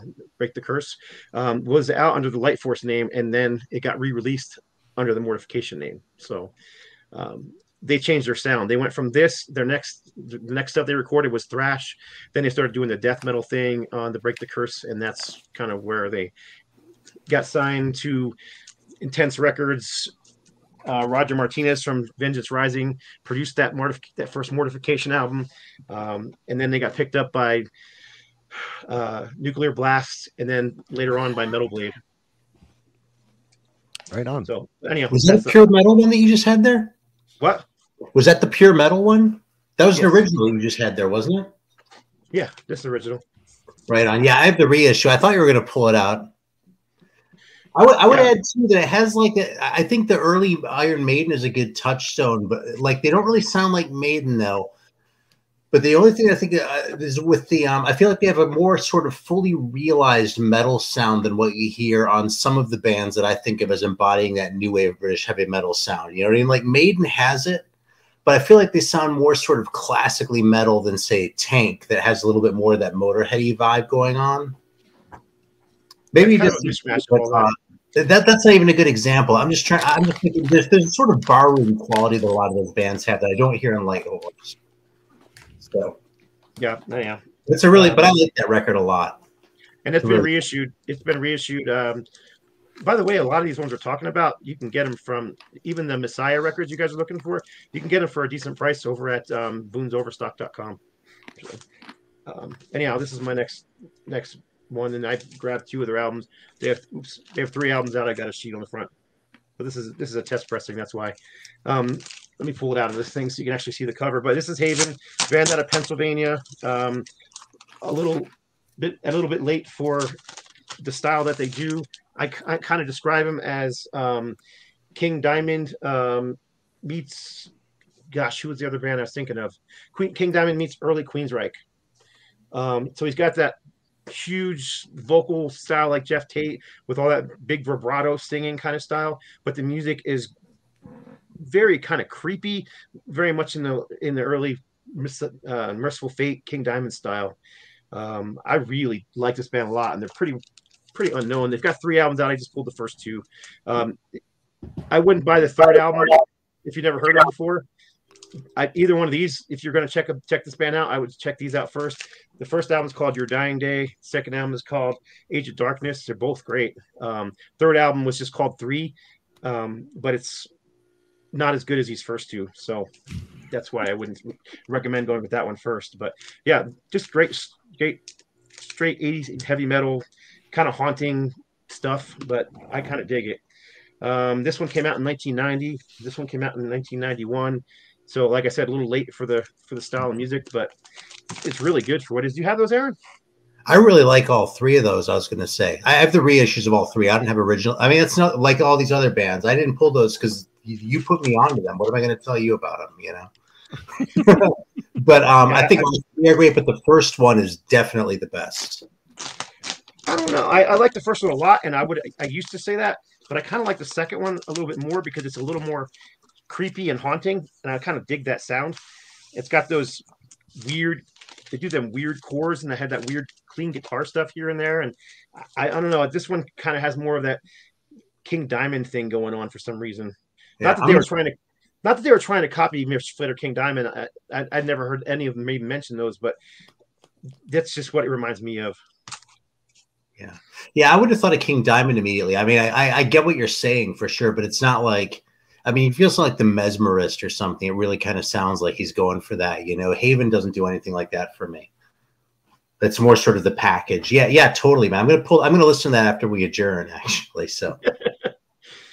yeah, then none of those were available on um, vinyl up until recently. They were all released on CD and cassette because it was 1990 and vinyl was going by the wayside at the time. So they've all been recent. I think 2017 they were all reissued from. Either, I don't know, was it Bombworks or maybe Retroactive? I could just look on the record. Retroactive. Okay. Aaron, you're up. Oh shit, okay. All right, what the hell, man? Someone's asked about this before, so this is one that I actually found at Amoeba Hollywood. Oh yeah. Nice. I got that one cool too. And this is kind of a more fun one to show, and it's kind of a cooler piece because it has all these cool little things like that font that they chose for their song titles. But you know something, even though generally speaking, I tend to like sort of like a stripped down garage band sound, the songs on this on the album I think sound better. The sound is fatter, there's just sort of more meat to it. And I just kind of think overall it's better. It's just a, and I also feel like the songs, this is a lot of the same songs on that. Um, and the worst songs are kind of on all on here. you know what I mean? So I don't know if I'd really recommend this over uh, some things, but it's definitely a cool piece. Um, yeah, I'm glad to have found it in the wild, and, and, it's a band that I mean a lot of people know. So there we go. Yeah, look at the look at that. I always thought that was the corniest picture in the world, but I actually kind of love it, dude. Like, the, yeah, where is the, the with the crossed acoustic guitars, and he's got the acoustic V the flying V acoustic guitar means fucking business. Let me tell you. Has anyone ever seen an acoustic flying V outside of that specific picture? Because I, I have. never have.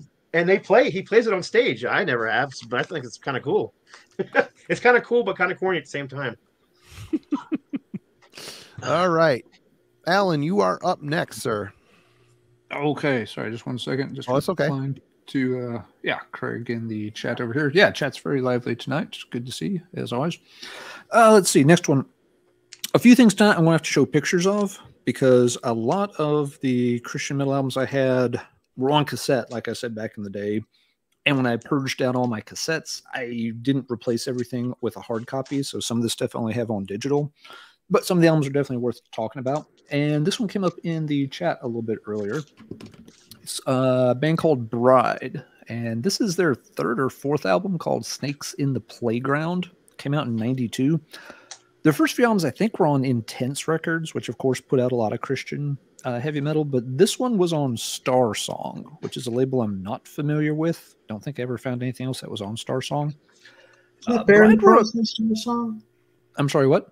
Isn't that, that Barren Cross album on Star Song? That first Barren Cross album on Star Song, and it was a that was a huge label. Yeah. Okay. Okay. Just one I guess I didn't cross paths with for whatever reason, but um, yeah, the Bride album uh, was an interesting one. It's got uh, it leans more like the AC/DC direction of heaviness. You know, very power chordy. Uh, it's got a bit of a southern hard rock vibe mixed into it which yep there it is you know so it was perfect for you know me and my friends you know being you know in the south you know it was a, a sound that really appealed to us. Uh, it's a very loud kind of sound. The story you told earlier scott about having issues with gigs. I remember reading a couple of interviews with guys from bride and they had the exact same experiences. They would sign up to play you know these you know christian music festivals and they would explain it's like look we got a lot of big amplifiers. We're going to be very loud. Is this cool? And you know, the people organized and be like, oh, of course, praise be. You know, and they get up there and they'd start playing these big, heavy power chords, and people literally just be, they describe it as just grabbing their sandwiches and running away. and they're like, well, this isn't working quite right. so yeah, you know, they had a very hard and heavy sound. Some folks might think of them as more metal adjacent as compared to, you know, a lot of the heavy metal we listen to, but a good band nonetheless. They also I noticed, you know, would put a little more bite into some of their lyrics, you know, not in terms of being more preachy, but just coming up with maybe more inventive ways to say things.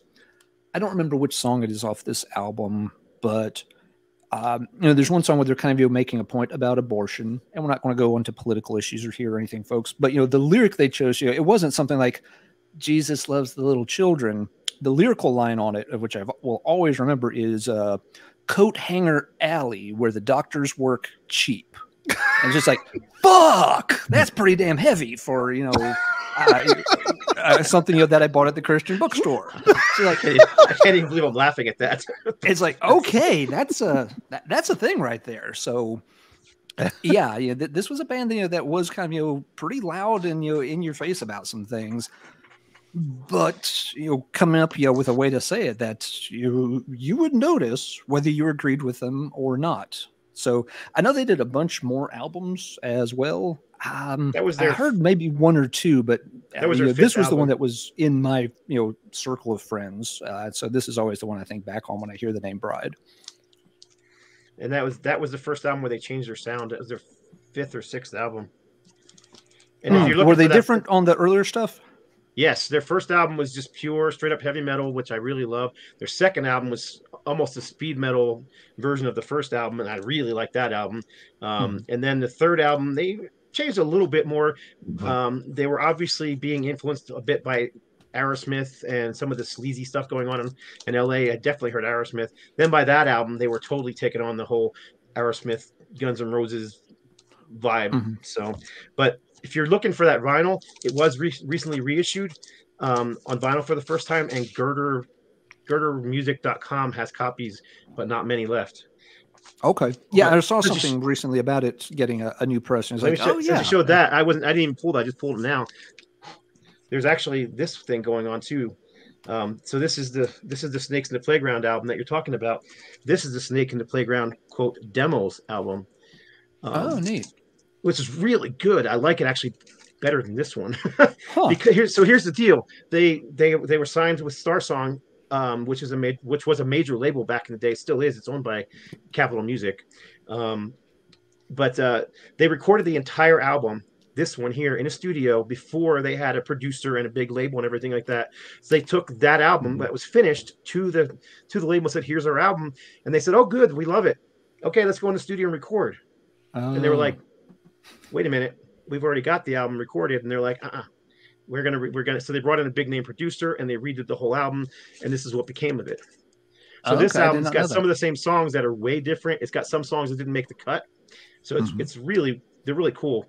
And the fun thing about this one is and i'm going to brag because i got to design the album cover for this one and they want it to be similar. That's why they look like this. So there's this kid hold there's this kid holding the little toys here this is my granddaughter holding the toys here. Awesome. yeah, my uh, my daughter-in-law is a photographer, so I said I need the picture of my of your of your daughter, you know, holding these toys similar to this, and she took it, and so there you go, the two albums together. Sorry, I keep interrupting everybody else's. No, that's good. Oh no, no, you got more. That's why we do. I knew when I said, "Why don't we do this?" It would be a good topic because mm-hmm. you, you you know it for sure. That was Alan. I'm gonna go next. Um, your turn, Marty. These are two albums that came out the same year and involved the same guy. Um, this first one we're going to talk about, we've already talked about in uh, an episode of the Heavy Metallurgy Album Club. It's um, Paramaecium's Exhumed of Earth. Oh, of the yeah. Earth. I knew you'd pull this, so I did not. It's awesome. This is such a great record. I mean, this would be if this was on the shelf in the Rainbow Bookstore. To said, if you like My Dying Bride, check out you know uh, Paramecium. even though you know uh, the christian bookstore probably wouldn't have known who my dying bride is but um this album rules and it's just amazing atmospheric doom. Uh you got a little violin in there. It, it kind of shows that uh jayson sherlock isn't messing around. I mean he he's a great musician a great songwriter and he the same year this album came out as well a little bit of a controversial record hordes Hellig usvart which is holy unblack and I'm assuming Norwegian. I don't know. Um, it was obviously the the the style he was going for because he nailed it. He nailed it. The sound, the riffs, the screaming, the whole damn thing. He nailed it. The the vibe of Norwegian black metal on this. Uh, Darkthrone in particular, but if you put this up against Transylvanian Hunger, some people are gonna hurl garbage at me for saying this. This album crushes Transylvanian Hunger. The riffs are really strong. The songwriting is really good. Um, The He- drumming is insane. the drumming is very insane. He's an amazing drummer, but he he does everything particularly well. Um, you know, you you you read, you know, invert the inverted cross, weak, feeble, and dying antichrist. Uh, I love the titles; they're so uh, funny. It's so funny. Uh, blasphemous abomination of the satanic pentagram. Behold, the rising of the scarlet moon. Thine hour hath come, has come. I mean, tongue in cheek lyrics. And he went by the name Anonymous on this because he was afraid he was going to get death threats, which apparently he did. He got a lot of. Yeah, Which which is hilarious because none of these bands are going to Australia. They're a bunch of kids in Norway. Say we're going to kill you. Well, yeah, come on down to Australia. Let's do it. Serve it up. But whatever. It's it added to the mystique of this record.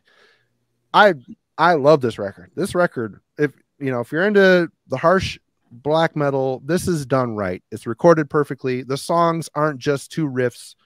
There's actual song structure, chainsaw guitar tone. Awesome, awesome, awesome. and not Both of dre- and are- not drenched with keyboards either. no, there's zero keyboards that I Yep. remember. And um, No, I I, mean, this album, super atmospheric doom metal, very much in the vein of the UK Big Four or Big Three or whatever.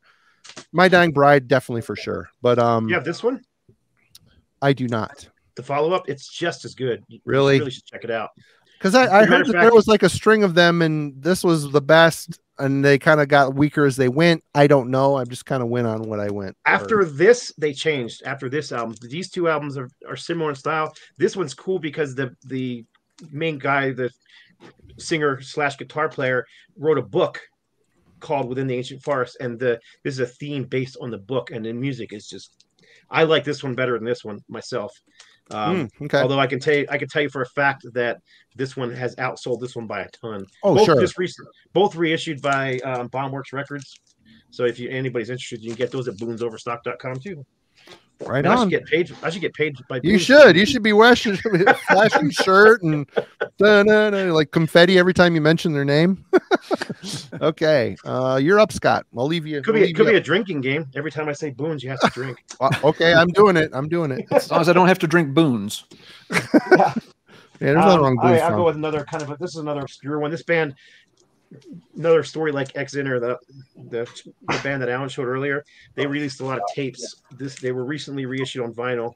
This is uh, Paradox, and this is a Ruler and Power and the Glory. They also have some other albums that came out after this.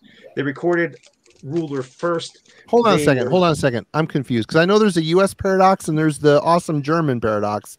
This And is that- U.S. Paradox. Okay, because the logo is is, not the very Christian. similar. The This is logo the is, very Christian similar. Or this is, uh, the- no, but this is not the Chicago one, Marty, with the ultra rare. Look at the EP. logo though; it's very similar to the German paradox logo. on This the is the- first this is the- on the first German one. Yeah. Okay, sorry. is Go a- ahead. This is the Texas. This is a Texas band. They were Mm-hmm. formed in I think '82, if I'm not mistaken. Um, and then these the guitar player in the band. Uh, I can't remember his name, top of my head. He's pictured one of these guys in the back here. But in any case, they recorded these songs. They were again another band that was being courted by a bunch of big labels. I mean, like really big labels. Um, and they um, literally had piles of offers on the table from different labels, including some of the Christian labels like um, Star Song and Word and those. But they were also getting other ones like not Metal Blade, but labels like that. Their guitar player got into a car accident and he was their main songwriter Oh, and died. oh Man, man. man. And so before they could sign any of the contracts or pick one, they started getting phone calls. Oh, we're really sorry to hear about your guitar player dying. Um, we're going to pull our contracts. We're not interested anymore. Oh, Mm. lame. That sucks. Um, so yeah, they lost that. So they recorded the the, the tapes, um, "Power and the Glory" and this one here, "Ruler," and started releasing them themselves. Now, then they started getting offers from the smaller Christian labels, and then they weren't interested in that because they felt they weren't getting a, a good deal because they were seeing they saw the deals that they were getting before that. Mhm. And so they decided we're just going to go and do everything our own. So that's what they did. They ended up releasing everything on their own. But anyhow, really good album if you're into that early Queensryche style of music. That I'm talking like you know the EP and the Warning kind of stuff. It, this is this is the direction I wish Queensryche would have went back in the day, um, with those high soaring vocals and those big riffs and um, you know it's got hooks, but it's also not pop. You know that kind of thing. So anyhow, I have the tapes too. I have the original cassette tapes, um, but they were recently reissued. And, and the, actually, these are the, the covers. I actually got to work on these, so I did the covers. And when the label contacted me about to do the covers, I'm like, we've got to keep the covers, the original cassette covers, because they're so ridiculous, but they're awesome. They're great.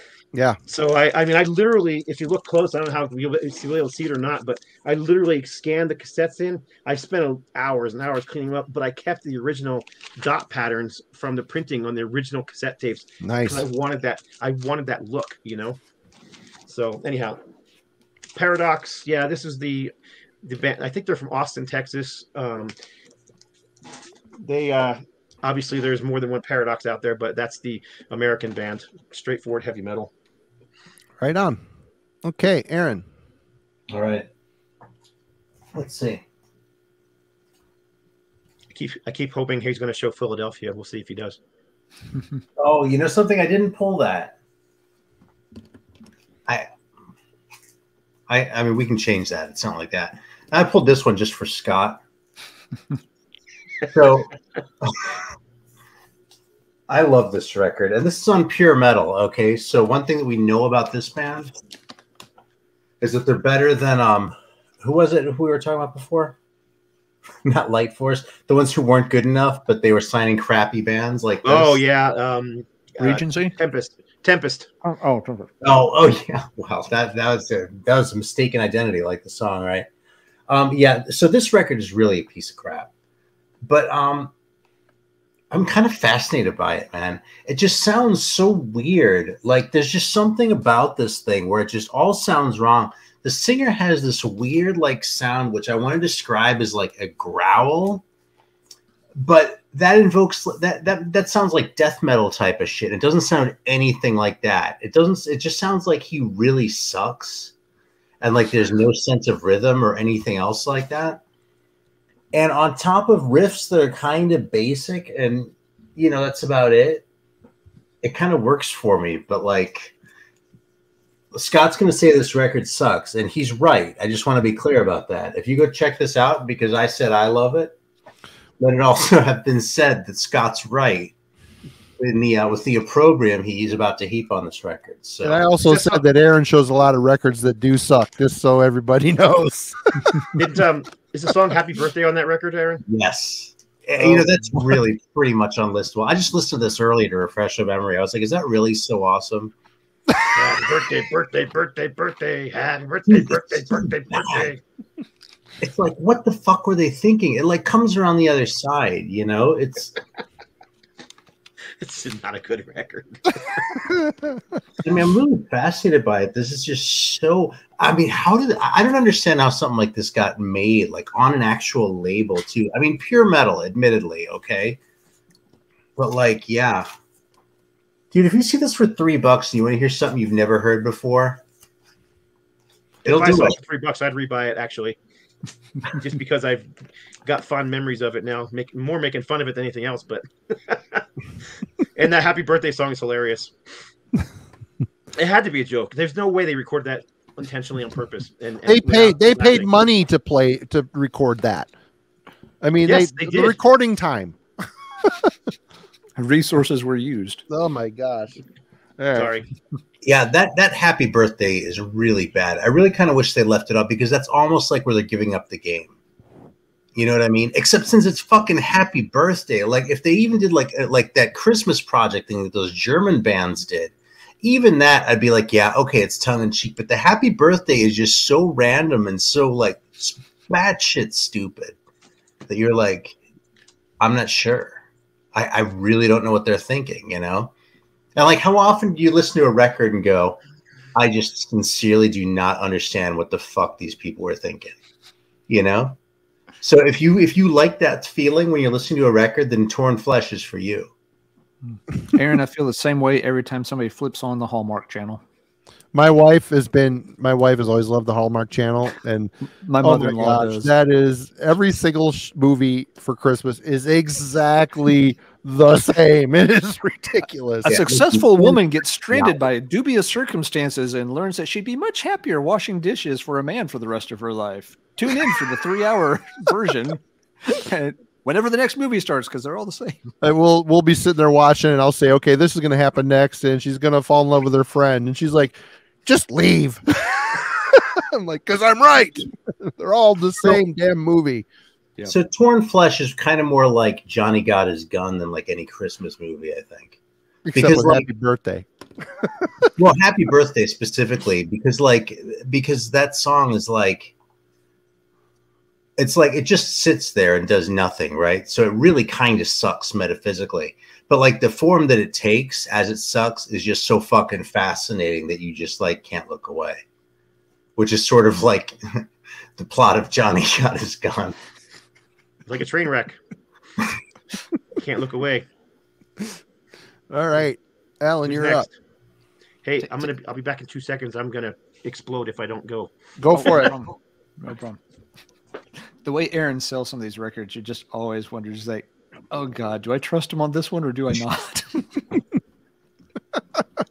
No, he's He- like, he, he's just, he has so much fun with them, but they sound so horrible. And there's uh, there's been some records that are playing in the background. I'm listening to it, and he's like talking about how great it is. I'm listening to him like, God, that record sucks. what is he talking about? yeah, right. He was being ironic. All right. Friends, who are you talking about now? I kind of want to know. I don't know. It's it was a I don't know. I might have commented on one of the. Yeah, it could have been a lot of things. It's been a it's been. I mean, you show you play some killer shit too, but you really really love. I mean, you love the shitty records, but you know they're shitty, but you love them because they're shitty, and it's you know. All right, Alan, you're up. Okay, wait. Let's see. Some folks mentioned this one in the chat earlier, and it's a good example of a pattern I noticed. There was definitely a subsection of Christian metal bands that went the Queensryche direction, you know, where pretty good instrumentation, you know, vocalists obviously trying to emulate Geoff Tate a bit. And this is one that did it quite well. A band called Recon, an album Behind Enemy Lines. I think it was the only album they made, although they there's a live album. Uh, this is a reissue that actually got the gold disc anniversary treatment, which wouldn't have thought about, but yep, so it did. Just showed up in the used bin at a local store a while back, but it wasn't used. It was still sealed, but they just wanted like a few bucks for it. It's like I remember that album. I'll I'll, I'll give five bucks for that. Absolutely. It's good So record. yeah, very good record. It was recorded in 1990. I believe they were from. Let me check. Yeah, they were a Los Angeles scene band.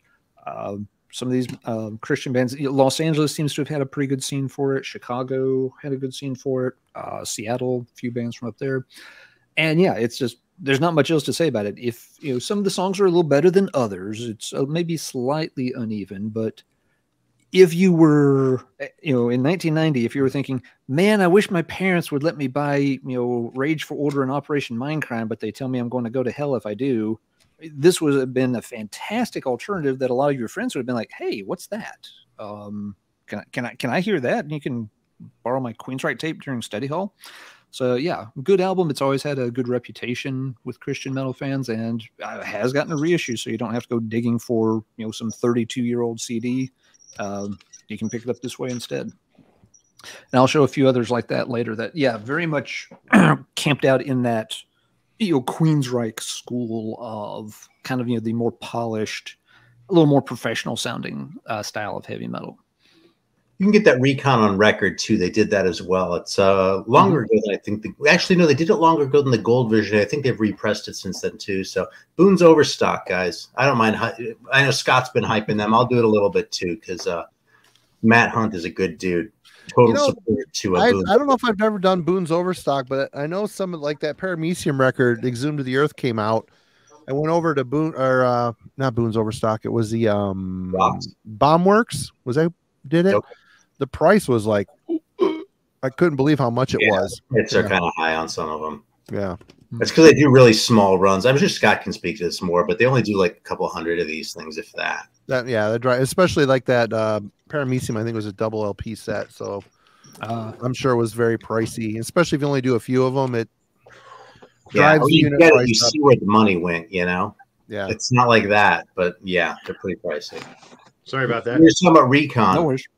Recon. I think you did the artwork for that. It was the gold disc edition. I did. That what you guys are talking about? Yep. Uh, yep, we are just discussing Behind enemy Recon's- lines. Behind, Behind enemy I the enemy vinyl lines. for that one right here. Yep. Yeah, I did the gold disc edition of that one too. Yeah, Cool. that's a great album. I love this thing. Yeah, It's- it's it's very solid. I don't know what you guys said, but to me, it's like Queensryche meets Metallica. That's yeah. We were just talking about yeah. It's one of the, there was a lot of uh, you know, Christian metal bands that kind of went for that Queensryche style sound, and Recon was uh, definitely one of the better ones. But now, Okay. Marty, uh, what you got next, sir?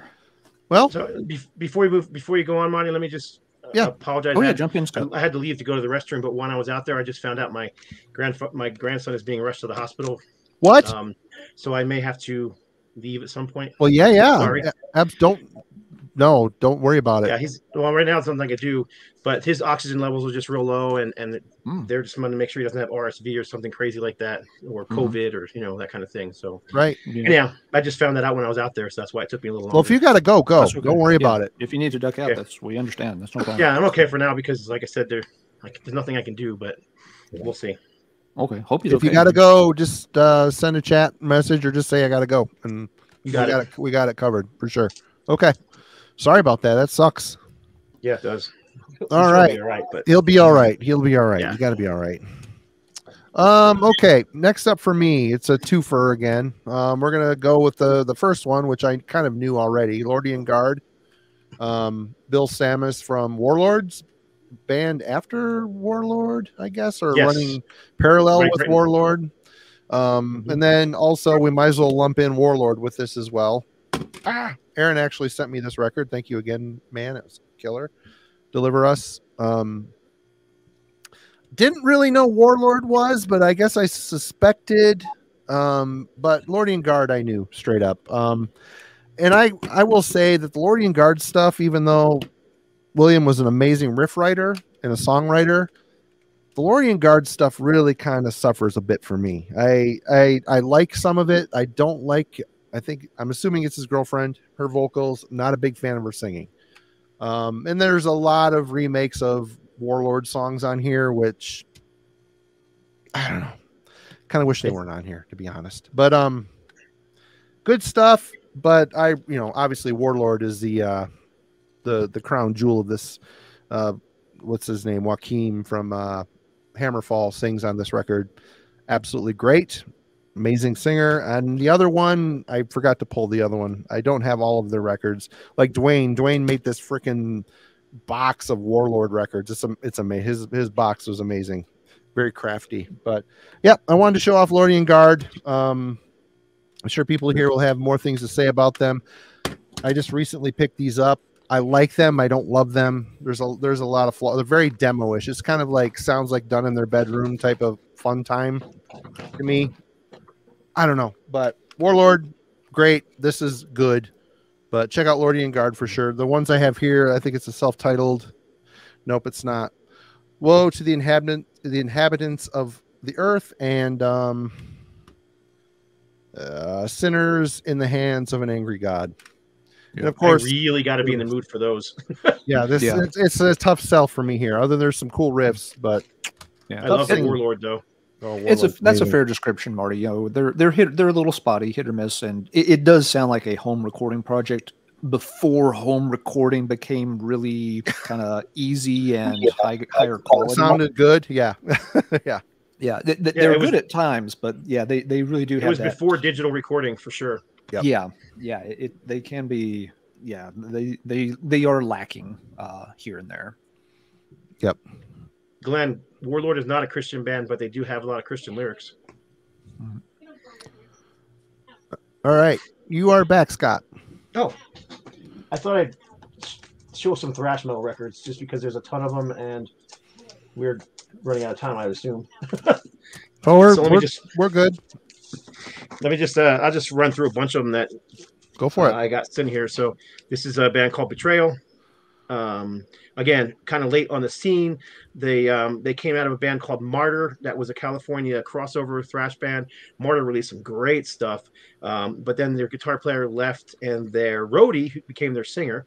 And Betrayal put out two albums, two thrash albums on a little indie label called Wonderland, which was the original owner of Intense Records. Um, Caesar Kalin- Kalinski, I think his name was. But anyhow, Betrayal, they put out two albums. Both are good. This was the second album called The Passing. I really like this record. Um, the guitar player on here, Bob McHugh, who was on the first album, he is a he's just awesome guitar player. The the leads on this thing, if you're a guitar player, will leave your jaw dropping. But vocals are a little more on the um, the hardcore punk kind of sound, but still good. I mean, I, I really like them. Um, one of my favorites. Well- This is I really like those betrayal records, but I, the singer is a little bit of an obstacle for me. Just anyone yeah, checking out. But they're really interesting as far as what they're doing in the songwriting and that. I was really surprised by like I, that. Just feels like at least um, those, especially that first betrayal, but the second one too, just feel like they're out of nowhere, especially given when they came out originally. they're very they're very dark records for them being Christian metal records, but they're really good. But Sacrament, another band out of Pennsylvania. This is their first album. Uh, they had a demo before that one. This is Testimony of the Apocalypse. This is the reissue. I have the original. I should have pulled it. Um, I actually did the artwork on this reissue. I was disappointed because they printed the cover too dark, but I can't control the presses. No. Um, again, very heavy record, almost pushing the boundaries towards death metal, uh, especially in the vocals. And then this album I th- thought was even heavier and faster, but they got a new vocalist, and this vocalist had more of a, um, I don't know, kind of an overkill thing going. You know that Bobby Blitz high pitched kind of punky, snotty kid in your face kind of thing. So I have no idea what's going, what that is on the cover there. Your guess is as good as mine. Name of the album is Haunts of Violence.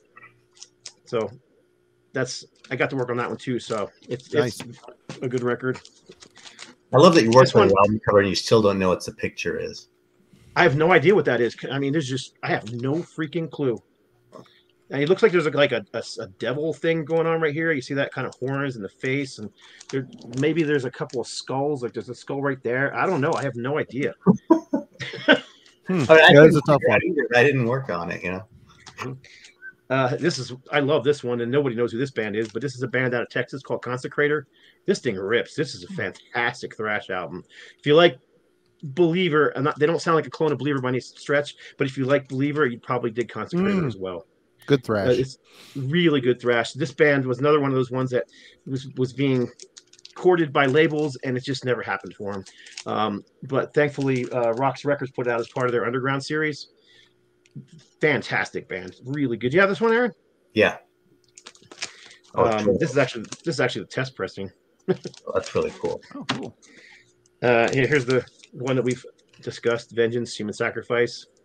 This is actually the original pressing Nice. on. Um, look down there. Let me put this down. Let's See if I can get it close enough so you can see it. If you look really closely right here, Star Song Records. We were talking Huh. about them earlier. Remember? Yep. So this there was so this label got uh, Intense Records originally. They were they had one market, so they were selling to the non-Christian market, and they were using the same distribution as Medusa, which I think was Capitol, um, Enigma, and then to the Christian market, it was Star Song that was putting their stuff out. So you can find copies on vinyl and CD with either one of those on there.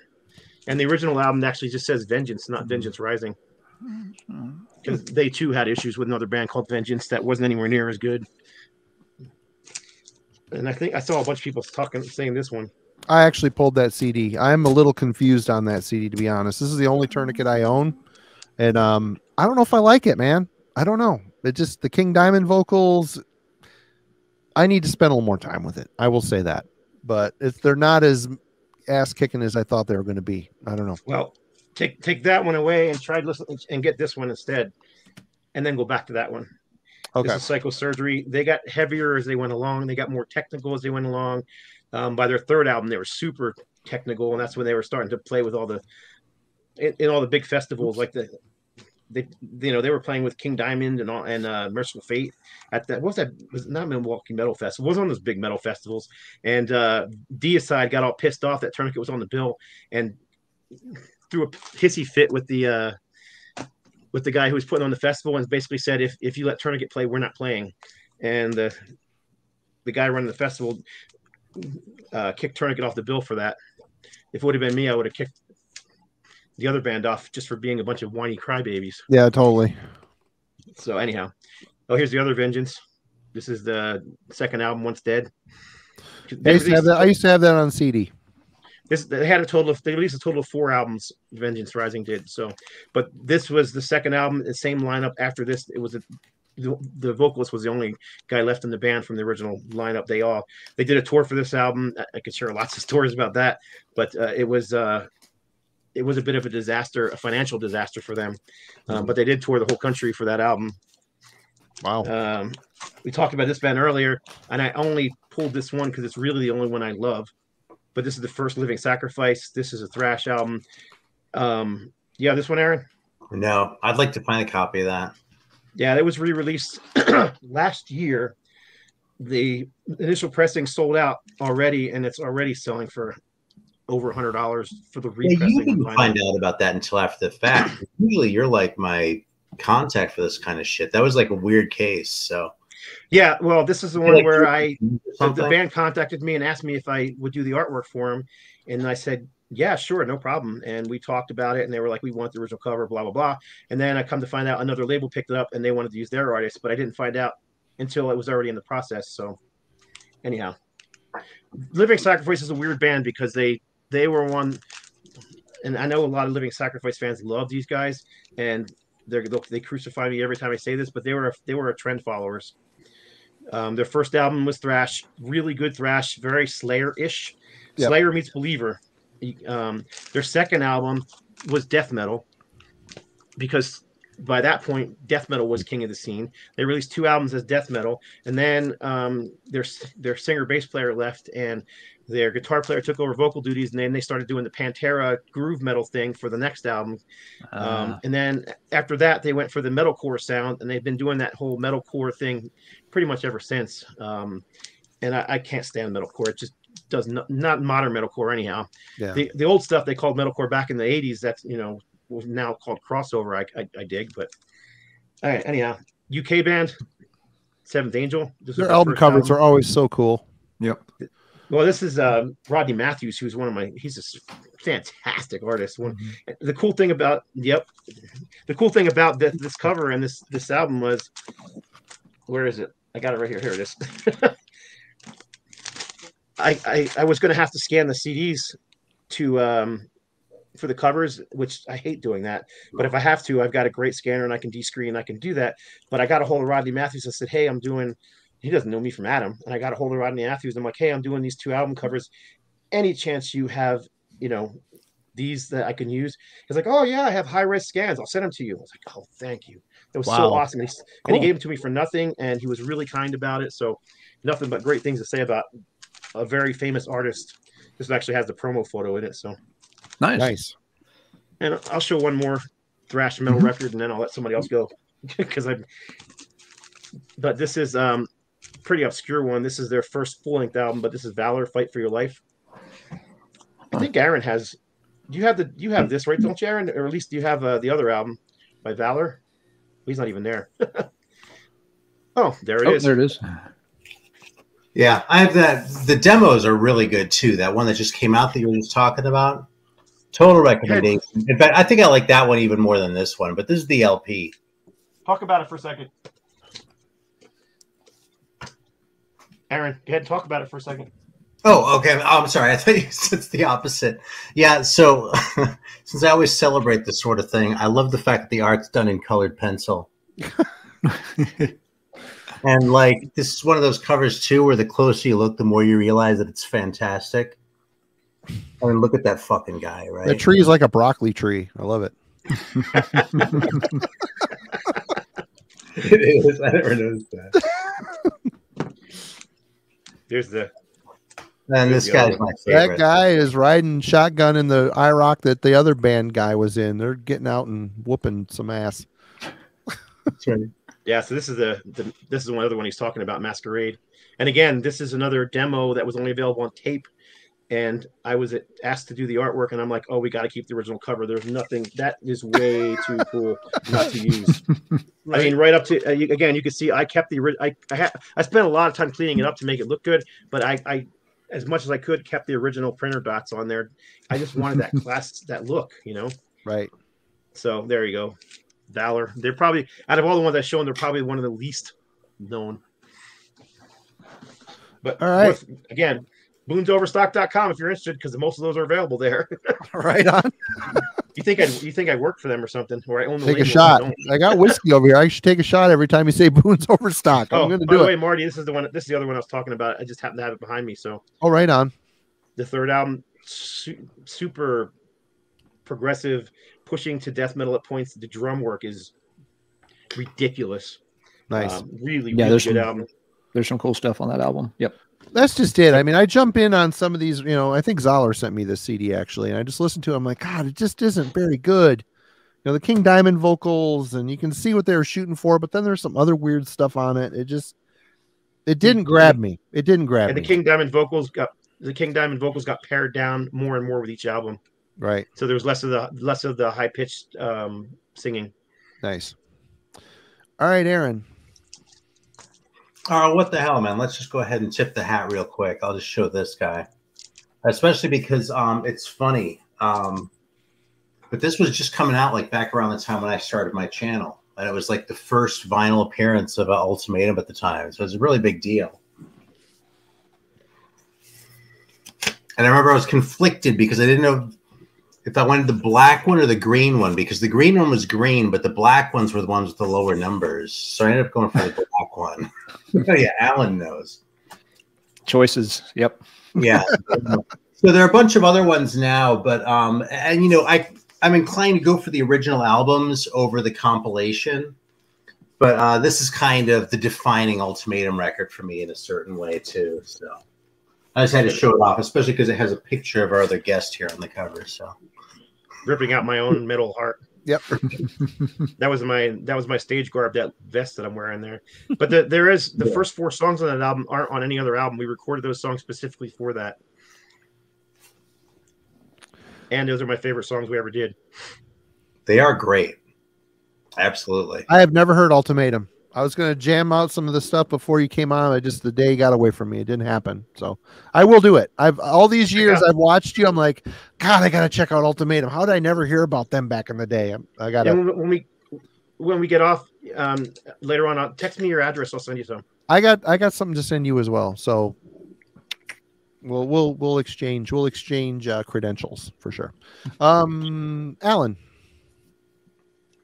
Okay. Yeah. Uh, I'll do a pair here. I mentioned before some more bands tended to operate in that Queensryche style, and another one I had on tape but never got a you know hard copy replacement of once the tapes went away was uh, Sacred Warrior Master's Command. This was another Chicago area band. Another one going for you know the traditional heavy metal sound. Um, another vocalist that yeah obviously was taking cues from Geoff Tate of Queensryche. Uh, this one came out in '89, so a year before Recon. A really good album. Yep, there's another one by him. Scott's got a few more. Yeah, So they did some other eight- stuff. This was- 88, I think. Yeah, you know, with a lot of these bands, you know, I only got to hear one or two albums, so I, yeah, I don't know the full discographies the way that uh, uh, you do, Scott. But yeah, this was another one that was very good. You know, a couple of songs, you know, miss, but most of the album is very, very solid. So yeah, if you like that particular style, it's good. And one other band that's a little more obscure in that style was Alliance. These guys were from New Jersey, and I think they only did this one seven-inch single, which for a long time was one of those pretty rare collectible private press deals. A bunch of copies showed up in collectors' circles over the past few years. Like maybe it's right before the pandemic, maybe so maybe like 2019, 2020 copies started popping up. Someone obviously had found a small stack of them. So it went from like you know a six hundred dollar single to you know more like a sixty dollar single uh, over as people realize that oh there's actually plenty of these available. It's got the tracks "Water in the Wind" and what is the flip side called? See. Da, da, da, Born Again. Uh, got lyrics on the back. Again, working in that Queensryche style or wanting to. These guys sound maybe just you know, a little more amateurish, not trying to be mean about it at all. There's some uh, synths that definitely have a little bit more of the slightly cheesy 80s sound. So, you know, I get the sense, you know, these guys were trying to get to the place, you know, where, you know, band like Sacred Warrior ended up at, but, you know, these just guys had more resources or a little more time, you know, whereas these guys had to do the, you know, self financed seven inch and they hadn't maybe fully developed the sound just yet. But still, not a bad single. It's, uh, again, it's a collectible one but in terms of musical quality, maybe it's no, it's not up there with you know some of the other uh, rare high dollar ones. But yeah, just a couple more bands operating in that same particular style of uh, heavy metal. I just looked it up. Just like I found three copies immediately. All of them two hundred fifty dollars are up. It, if the copies have dried up from a few years ago, it may be starting to trend back upwards then. But yeah, there was yep. a period there for like there was a copy showing up roughly every three months or so on eBay, and where you would copy would show up, sell. A couple months later, the next one show up, sell. So you, you could tell there was a pattern to it for a while until they dried up. I got mine kind of in between. I didn't have to pay six hundred for this, of course, but I didn't get it. You know, when the price had completely bottomed out either. So I kind of got it at the in between point a bit. There's two. I got it with a big pile of stuff, uh, so it's kind of hard to price them out at that point. Yeah, two on Discogs and one on eBay, and they're all 250 bucks. Okay, so yeah, it seems to. I don't know. Again, you... it'll be interesting to see if those actually sell at this point, or if people are. The market for that kind of thing sometimes does get saturated, and it takes a while for demand to creep back up there. There's only so many people that are going to be interested in, you know, a seven inch single from, you know, 1986, 1987 by a Christian band who have some Me. cheesy 80s keyboards here and there and didn't really go any further. There's only so many people looking for that stuff. um, but yeah, it's it's not a bad single if you happen to cross it in the wild. All right, Marty. Uh, what's next for your stack? All right. Well, for me, this was kind of a oh yeah, I forgot about this band and the CD. Um, I got this in as a promo back in the day. Um, I think this came out in 2009 not back in the day, 2009. It's not back in the day, but tell me when about I, when I was getting promos in the mail. That was, uh, but these guys are from Malta, Forsaken. This is after the fall. Oh yeah, I used to have that. I forgot about them. Yeah, this came out on I Hate Records, which is mm-hmm. a yep. Swedish label. Um, these guys, I mean, you look at the cover, you're thinking, oh, power metal. It's not. Uh, they're just a, a, traditional metal. It's a very moody record, very yep. moody. They've got a really solid singer. He's got a very melodious, mm-hmm. throaty, kind of bluesy voice. Um, I always really liked this record. It had a really good flow to it, good songwriting. Um, and um, I knew then they were Christian, but I was like trying to find something that I did a search and I'm like, oh yeah, these guys. I forgot about these guys.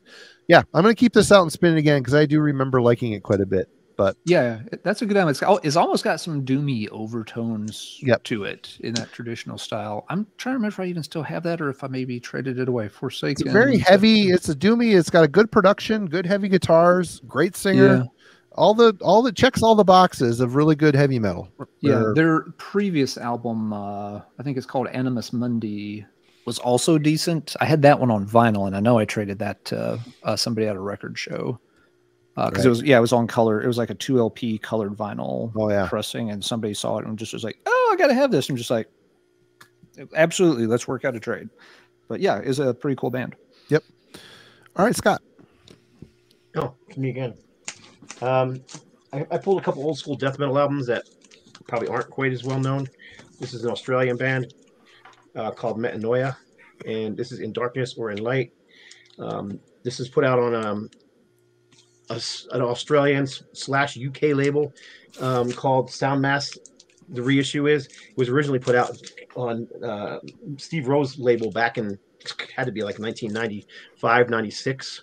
Um, but yeah, it's just I love this record. It's just good old school. I think what I like about this one, I like old school death metal a lot more so than a lot of the newer stuff. Sure. But yeah. what I like about this one is you can hear their you can hear that they had a lot of classic heavy metal and thrash metal influences, even though it's definitely death metal and it has the guttural vocals, it has the blast beats and all the things you expect from you know that old school death metal sound. But yeah, this it, unfortunately it's the only one available on vinyl. That, and after this album, they got they were getting they were just trying to be different, so they started getting heavier and ex- experimenting with their sound a, a, bit more.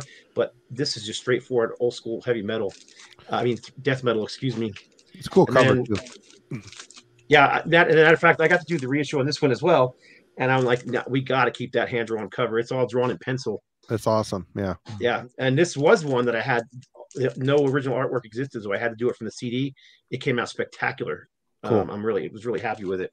But then this is um Crimson Thorn. Yep. Yep uh, this is their oh, first yeah. this was their first um, full length album. They had a, an album, uh, I don't know, an EP demo cassette before this. They were playing their first demo was thrash metal. This was pure death metal. And then they released two more albums, and they every album they got a little more technical and, and a little heavier. This again is just that old school death metal style. It's been released by so many different labels. It's got like four different covers you can find this thing in. Um, Hmm. I always like this cover though because it's it kind of looks like some skeleton hanging on a post. Um, but it's not. If you look closer, it's just a bunch of sticks and weeds. Yep. Uh, stuck on a post, stuck on a Mhm. um, what do you call that barbed wire fence where the cows are walking in the background. Yep.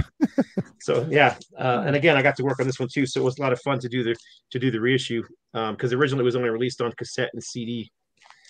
So, I anyhow. have one of their albums. I'm trying to check right now and see which one it was. I don't even remember the Didn't title. Luke go on to be uh behead uh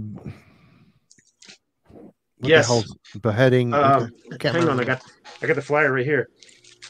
Um, Yeah, it was this one. It was this one I had. I'd forgotten all about that. taking the was it taking the head of Goliath? Is that what it was? yeah yeah something Goliath yeah head of taking the, head yeah, of taking the head Goliath of Goliath. If, if you look right here, there's actually a flyer because they just toured, and Yeah. they did a Crimson Thorn slash taking the head of Goliath tour, and then they had a bunch of other bills on the. You can see all the different little logos on there. All, Sweet. pretty much all of them, pretty much all of them unreadable pile of sticks logos. So yeah Mhm. Yeah, I had that back in the day. I had, I haven't thought of that in ages. I bet I gave that to David because I don't know what else I would have done with it. I, I will. I mean, both of these. If you're if you're looking for stellar, you know, if you're an audiophile, death metal audiophile, does that thing exist? You- You're probably not going to be happy because they they were low budget. I mean, they, Yeah. they- Mhm. both these were you know bands that had very low budgets, but sometimes I think raw, nasty production works for bands. Like the first Raven album, terrible production, but it works. The first Venom album, horrible production, but it works, right? yeah Um, Power of the charm first Metallica record, Kill 'Em All. I mean, that album has terrible production, but it works. there's a fi- there's a fine line between charm and then bad Yeah. So it can fall off really quick either way Meg, Mega, Metallica, Them All worked. Megadeth's first album did not work. The- I like the drum sound on the first Megadeth I I think it's a lot heavier and really punchy and then only the bass and the guitar and the vocals and everything Well, else the sounded drum, the drum, you could really hear Gar ripping, ripping on that record. And then on Peace Sells, they put so much reverb on the drums. It's like it kind of, it kind of killed it a little bit. I mean, that record still kills, but Yeah. his drum production. I wish I could have had the, you know, killing is my business drum production on Peace Sells. It would have been really kind of cool. But I mean, I, I got to show you one more thing real quick because Yep. I've had this sitting here. I keep waiting for keep waiting for Aaron to show the Philadelphia record, which he hasn't shown him. But I found this the other day. I, I couldn't believe it. It's a seven inch promo single for Philadelphia for No Compromise. Same song Wow. on both sides. Huh. I, I looked. I've never seen it anywhere before. I, I went on to uh, Discogs. It's not even listed there. So I was shocked to find this thing. Um, Well, that's Anyhow. awesome. yeah, I thought it was cool. So Philadelphia released three albums. I, I, they're old school metal. They were Talk for a sec. I'll, I'll, I'll, I'll pull it out. the- it's uh they were another band who were plagued with bad production but i really like the sound and the atmosphere to it their first album cover oh my gosh it's so bad it's awesome. It's awesome you know what i mean? It's yeah, you, you'll see it. So when they did the reissue they changed the cover um which i don't know if it's good or bad. Like i said it's so bad it's cool. But the reissue what they did was they took the same cover art and they made it new and colorful and nicer looking. Here he comes You're up Search and next destroy. anyway. That's what I was talking about. Is that the one that you have search and destroy there? Yeah. So this is Oh, the that's first how the- one. That's tell the truth. Yeah. Yeah, and this is more like sort of hard rocky. I really like it though. I heard that about this record, and I was a little bit wary, and I found this really cheap. I just kind of lucked into it after seeing a lot of copies over the years, and uh, I really like this more than I expected to. But it's not super heavy. This one is heavier. This is more like a fully committed metal album. That's the one I was talking about. The, the cover art's so bad, it's awesome. Yeah. Yeah. Looks They like look- they're in the same garbage pile that uh, Death Row was on the Riders of Doom or Satan's Gift uh, band photo. Well, these guys are from Shreveport. Oh, actually, it's funny. Now the label's in Jackson, Mississippi, but these guys are from Shreveport, if I'm not mistaken. Hmm. Louisiana, and actually, yeah, I pulled this one out. Uh, let's Scott show this one. I'll show that one. Oh, hold on, let me get you over there. There you go. So that's the reissue. It's the same, it's the exact same artwork. It's just Colorized.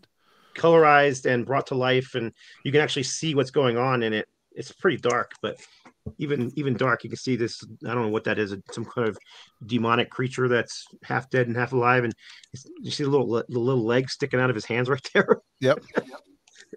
it's pretty awesome. That- But that's all in the original cover. You just can't see it. Yeah, I, I mean, you could barely see it. Yeah, I know you know those legs are there. But yeah, the here's the, the band photo on the back. It's I don't know if it's the same photo on that one or not. It is. Is it? Yeah, it is the same one. Yeah. Yeah. Looks like the color's better on that one too. It's a little more saturation on this one. Oh, they look a little pink. But um, the other one that I actually, I actually pulled this one out to listen to later when I was trying to decide whether to pull out the Philadelphia records.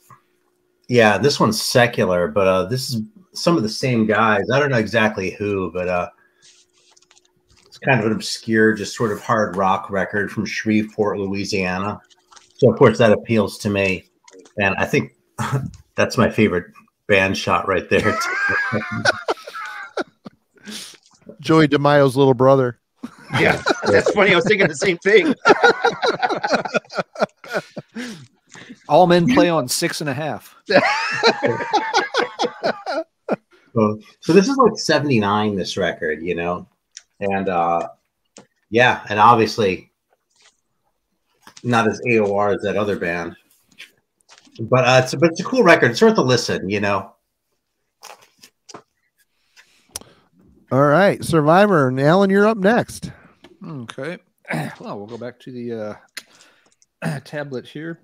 This is one of my favorite uh, Christian metal albums from back in the day. A total Judas Priest clone, but did it very, very well around this time. Uh, this album came out in 1986. It is, get the picture up here. Sorry, uh, this is uh, Saint Times End. This was on Pure Metal Records. I this one I need to get a hard copy of, and I just never remember or get around to it. Yep, there it is. Dude, I can't believe it. Overstock.com has copies. Yeah, I- Drink. Hold on. Let me drink. Yeah, this one I, I I thought I had picked this up at some point. I went to the CD racks. Usually, I know exactly what I've got on disc and uh, what I've only got on MP3. I went over, looked, was like, didn't I pick this up? God dog it, I guess I didn't. But uh, yeah, just dead on classic, you know, early '80s Judas Priest worship. Uh, very heavy, uh, very loud sound. Um, some pretty cool songs like you know you know, there's the Christian themes. They also have, you know, some songs that have a little bit more like, you know, kind of a sci-fi fantasy, you know, leaning to it. You've got, uh, you know, two big dog head monster things and swirling vortexes of stuff. You can't go wrong with that. It's- Um, if you actually look at the cover, it unfortunately this is not a gatefold, but it rolls around. Let's see, am I going the right way? Yeah, to the back, and it's all one. Oh, okay, cool, cool. And it's actually the the, the creature described in Revelations 12:1. Is that okay? I figured it was, yeah, meant to be some kind of biblical. Yeah, the three-headed creature. Yeah. okay. All I And, uh, know is no matter where I look at the cover, it's staring at me the whole time. Anyway, go ahead. yeah, I only had ever had it on a, like a little J card. Watch uh, out! Here comes that lightning before you're talking about. You know, I hope thunder snow. I hope that as metal fans, by the way, we've all been trained to just automatically check to see if the cover wraps over to the other side, regardless of whether there's a gatefold. I mean, ever since I got my first copy of Peace of Mind, I've done that. Yeah, but uh, and this band, you know, had done they did an EP or mini LP before this that comes with a couple couple of different cover versions. Yep, there's the one that's yeah got the band picture on the black cover, and yep. So yeah, That's the third album. Yeah. Yep. Yes. Yeah. Even that one's also pretty good. Yeah, they've done some other stuff, but yeah, this was always, you know, for me, this was just a real banger. Um, was always very impressed, you know, how well they pulled off, you know, the Judas Priest worship without it feeling, you know, like a corny knockoff or anything. It's just like, no, that's they know exactly what they're doing, but they're doing it so well that uh, can really dig it. So yeah, that's another one right up there with Emerald in terms of really nailing that classic heavy metal sound. Hmm. All right, Marty, that's all I've got to say about Saint. Okay. What would you like to say next? Well, this band hasn't been brought up yet. I'm a little surprised. Well, they have they have been mentioned. Um, I haven't heard this band since what the hell is the name of the Stryper record with the dollar bill on it? In God We Trust. I had that to hell with the devil and um, soldiers, Soldiers of Command. under command on tape back in the day. Got rid of them for some reason. Zoller just sent me this record, Fallen. Man, I'm surprised. They're this band is really kicking ass. I mean, it, the production's great. The music's a lot heavier. Um, the big drawback for me on this band has always been Michael Sweet's voice. He's got a great voice, but there's times it's just a little weak, a little effeminate sounding to me, and it's Mhm. always it's always permeated all their stuff. I mean, I liked those early albums back in the day, but they just they didn't stick in my collection for some reason. I kind of regret getting rid of them to be honest with you, but I was really surprised. And Zoller even said their latest album, he said it's their heaviest and one of the better records they've done. He's just amazed. He's just amazed that a band can come back after all those years and be kicking this much ass. But um, yeah, Fallen. I was kind of an eye-opening record. They do After Forever by Black Sabbath on here, which is perfect, perfect cover for you know a band of this ilk to do. Um, cool. I'm I was surprised. My eyes were reopened to Stryper a little bit. I was pleasantly surprised. I didn't pull Stryper on purpose because whenever you mention you say Christian metal, the first thing people oh you like Stryper. Yeah. And I mean, it's, much what people like I said, I'm Mr. Obvious here tonight. yeah, there's nothing wrong with that. I'm just saying. I mean, you mentioned Christian metal to anybody, and they they pretty much think if they don't know anything about like all these other bands that we're showing, they just pretty much oh Christian metal, that's that weak, crappy Stryper stuff, right? Yeah. That's the one band they all know. Yeah. It's always Yes. been his voice for me. I mean, he- he's got a good voice. I mean, when he's like in the higher registers, like belt, he can really crush. But just his normal singing voice is very effeminate to me, which you know, fine, but it's just not. I like a little more Yeah. power. One thing, Marty, the uh, the rhythm section. I don't know their names, but the yeah, the rhythm section from Stryper uh, put out an album this year with Mike Flyntz from Riot on guitar, and the vocalist is, and I'm going to forget his name. It's James something. He was one of the American Idol contestants who sang with Judas Priest uh, as one of his, you know, showcase Oh, pieces. the guy that was in Quiet Riot. Yeah, he was saying for Quiet Riot for you know a hot minute there too. But um, Talk about so, iconic. Um, the band's called uh. Clean Break. Oh, As just one word. It's on the I think it was on the Frontiers label. It came out this year. It's pretty good if you like you know '90s era, you know DiMeo era Riot or Master Plan. It's kind of in that hard rock metal vein. But uh, yeah, the Stryper guys, you know, sound really good in the rhythm section. Mike Flyntz, of course, is always good on guitar. So James Durbin. James William Durbin. Durman, yeah, I wanted to say Turbin, but like that's the dude from Anthrax. He also so- has some solo stuff going on and put out some really cheap. The songs are super catchy, but really cheesy. I mean, Yeah. like really Mhm. super cheesy. But he's got a that great stuff, voice. uh, that stuff didn't go over well. So I think part of this, you know, clean break project was him trying to regroup a little bit. It's like, let me get some really solid musicians to help out this time, so it doesn't come across cheesy. So, uh, yeah, between Mike Flyntz and uh, the guys from Stryper helping out, the album's got you know is a pretty tight sound. If if you like that particular style, you know, getting into a little bit more of the hard rock territory. All right, a, Scott, a way to hear some Stryper guys without uh, if Michael Sweet was the stumbling block for you. I mean, he's a great guitar player. He's a great and he's a great singer. I just but it doesn't bother me as much on this record. It's just a solid, really heavy record. I was surprised. I was surprised. You're up, Scott. I, am going to crank through a, whole, a, bunch again. First of all, you were talking about Saint, and I, I pulled this because I again happen to have it behind me. But this is the new Saint record from 2022. This thing's fabulous. I really, really like this album. Oh, cool. Um, I can't say that I like because they've released probably 12 albums over the years. Mhm. Uh, I can't say that I love all of them. They did an album last year called The Calf that I thought was good, but this one is way better. I just this thing's fantastic, and I also love the cover artwork. Um, I didn't It's do kinda the cover cool, yeah. I didn't do it, but I, it's it's really cool. It's called Heaven Fell. Great album. Very much in the traditional, straightforward, heavy. Doesn't have that pre sound, but it's still straightforward, heavy metal.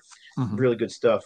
I Um, still don't have that one, but I like the calf a lot, actually. I like that I that like one. the more- calf a lot too until I got this one. I like it better. so yeah, the calf is good though. Uh, another one of those Swedish bands, Modest Attraction. Um, they released three albums. These guys, uh, a few of these guys ended up forming the band called Narnia. Mm, Um, yep. That was were a on Metal Blade band, wasn't it? No, Nuclear Blast. You're Nuclear right. Blast. Yeah, they, Oh, and they yeah. toured. They toured uh, Europe's twice, I think, with, opening up for Dio. Um, Dio really d- dug them for some reason, and kept taking them on tour with them. But in any case, Modest Attraction is um, a band from the early '90s, but they and into the mid '90s, but they sound nothing like what you expect from them. Well, I mean, if you look at the, they're wearing matching color bell bottom suits. they're like, they almost look like they're velvet. This is actually Yeah. the second the second album from them, and um, their sound was um, I would describe it as Deep Purple Uriah Heep meets uh, Slade and the Sweet. That's the Hmm. kind of sound they got going on. So it's a very 70s influenced sound with the with the heavy um, organ, not keyboards, but that you know that Hammond organ sound that's kind of you know heavy and nasty like Deep Purple and, and Uriah Heep had. Um, anyhow, that's that's them, and then they ended up forming farming the forming the band Narnia. So I grabbed one of the Narnia albums to show, but Yep. uh, this was their second album, Long Live the King, um, which I hate picture discs to play, but it was the only way I could find it back in the day. I don't so- mind picture discs as long as they give me a damn cover for them. I hate just a picture disc in a clear sleeve. It makes me crazy. Give me Yeah, a this one has this one doesn't have a cover; it has an insert behind it, but no cover. Well, that you know? I mean, at least it's something, you know. Yeah. Uh, let me crank through a few more real quick. Um, this is uh, I love this record. This Red Sea. This Hmm. is album's called Blood. So after the breakup of Badlands, which was Jakey Lee's band, Mm, Yep. um, Greg Chaisson and the, who was the drummer Jeff Martin, who played on the the second. Because I, I- Eric Eric Singer played on the first album, but he only Yeah. played on it, and then he didn't tour on it. It was Eric Martin. I think it's Eric Martin. Is that his name? I can't Eric remember. Martin. Anyhow, whoever the second drummer was who, who who played on the first tour and then all the rest of the records, those two guys are the rhythm section on this album, with um with a, with the singer who is a dead ringer for Ian Gillan in his prime, Mm. um, named Robin Cobb. Sorry, but this thing's just it's like a heavier Badlands. Really love this album. Great production, great guitar solos, great music, big hooks, um, super heavy. It's actually heavier than Badlands ever was, but it's Hmm. but if you like Badlands, you'll probably dig this as well. Um, but yeah, this is the only album they ever released. Um, because after this, they broke up, and some of those guys went on to form that band Circle of Silence, um, with Larry Farkas, who was from Vengeance Rising. Those, um, and then the singer was the singer from Accept that sang on that one album, the American singer. Uh, why is that escaping Oh. my head? Yeah, I know, him. yeah. Anyhow, Yeah. the guy who sang on that one Accept album that with the American singer, he he was a singer for Circle of Silence. Um, I'm gonna show you a couple more real quick. I'm showing them quick because my wife is staring at me like something's wrong, so I probably have to go. Yeah, you probably Um, need to go. Okay, but anyhow, Revelation, Spiritual Wind. This is a band from Florida, Underground. This is actually the a vinyl reissue of their only album they put out, um, which is impossible to find an original copy. But this nice reissue even came with the repress of their band, whatever you call those things, promo photo. Mhm. Uh, but yeah, just straightforward heavy metal, kind of melodic. You have this one? Yeah, I like that one. And it's on the Thrashback label, which is a mostly thrash and death metal label. So I was kind of surprised to see this come out on their label, but it's it's really really good stuff if you're into that style of you know traditional heavy metal. This one's kind of an underground one too. Exalt Dark War. Um, this band Oh, released f- four or five albums. The this one and the one that followed, I really like. They're just straightforward heavy metal. Great guitar player. Singer is good, not great. He's not like a Jeff Tater or Bruce Dickinson or Rob Halford, but he's good. Um, love the artwork on it. Yeah. Under the Ruins was one of the tapes that my friends and I had back. in yeah, that was the second album. and That one's good too. And then they then they then they got picked up by a big label. I think it was Star Song, um, and their sound went way more commercial and way more um, overproduced sounding. And then the next one after that, they went for the alternative rock sound, and it was just like, no, thanks. Ah.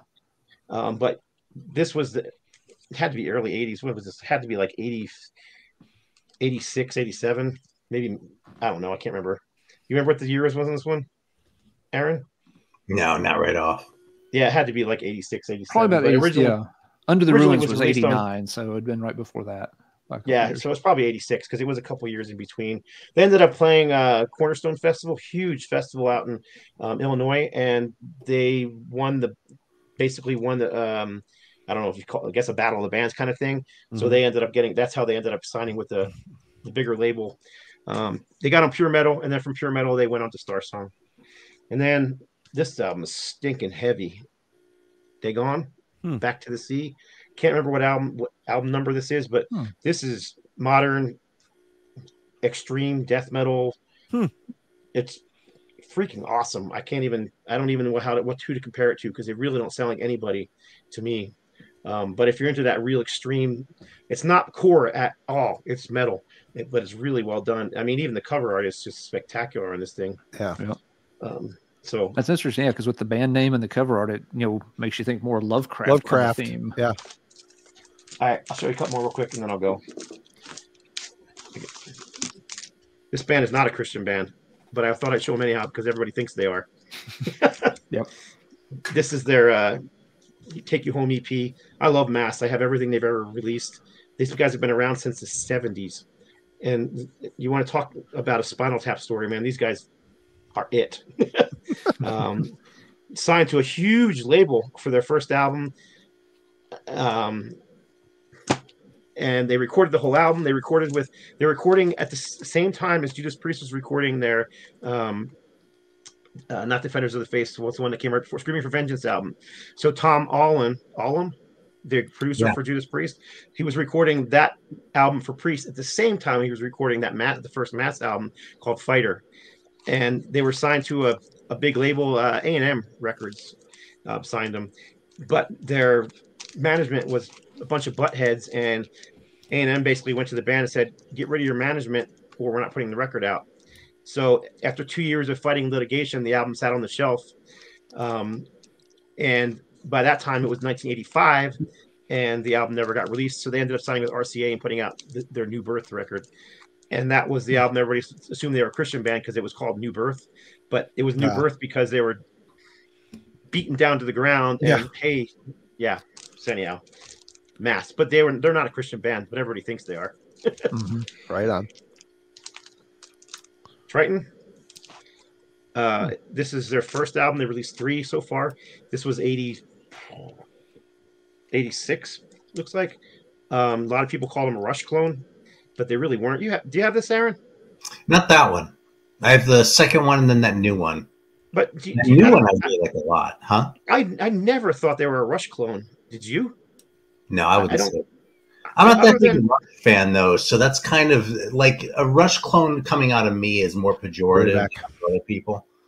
So I- I I mean- mean, might be a Rush clone, and I still wouldn't call him that, you know, because I And don't think the reason they get, I think they got called that was because the singer guitar player did have that kind of Geddy Lee sound going on, and they were a little progressive. But these these albums were straightforward metal, really. This one and the follow up, but like Aaron said, the uh, the new album that came out last year, Blood of the Kings. yeah, that's probably this thing is this thing's brilliant. This is one of the one of my favorite. This I actually made my number one album of the last year, which was what 2021. Yeah, so 2021. Um, it's fantastic progressive metal. Of course, the players on here, he's got Eric Gillette playing keyboards and um, drums. Eric Gillette plays. Um, what's what's Dream Theater's drummer, old drummer's name? Uh, Mike Uh, Portnoy. What is that? Yeah, he played. He plays. He also plays in more Mike Portnoy's side band. Um, he and just if you like progressive metal and progressive rock, try this thing. It's freaking awesome. Everything from the production to the guitar playing, even the lyrics aren't real preachy.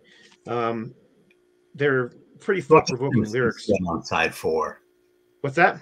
On, it gets a little CCM on side four. If you took the two worst songs off that record, it would be a better record. But I still think it's a great record.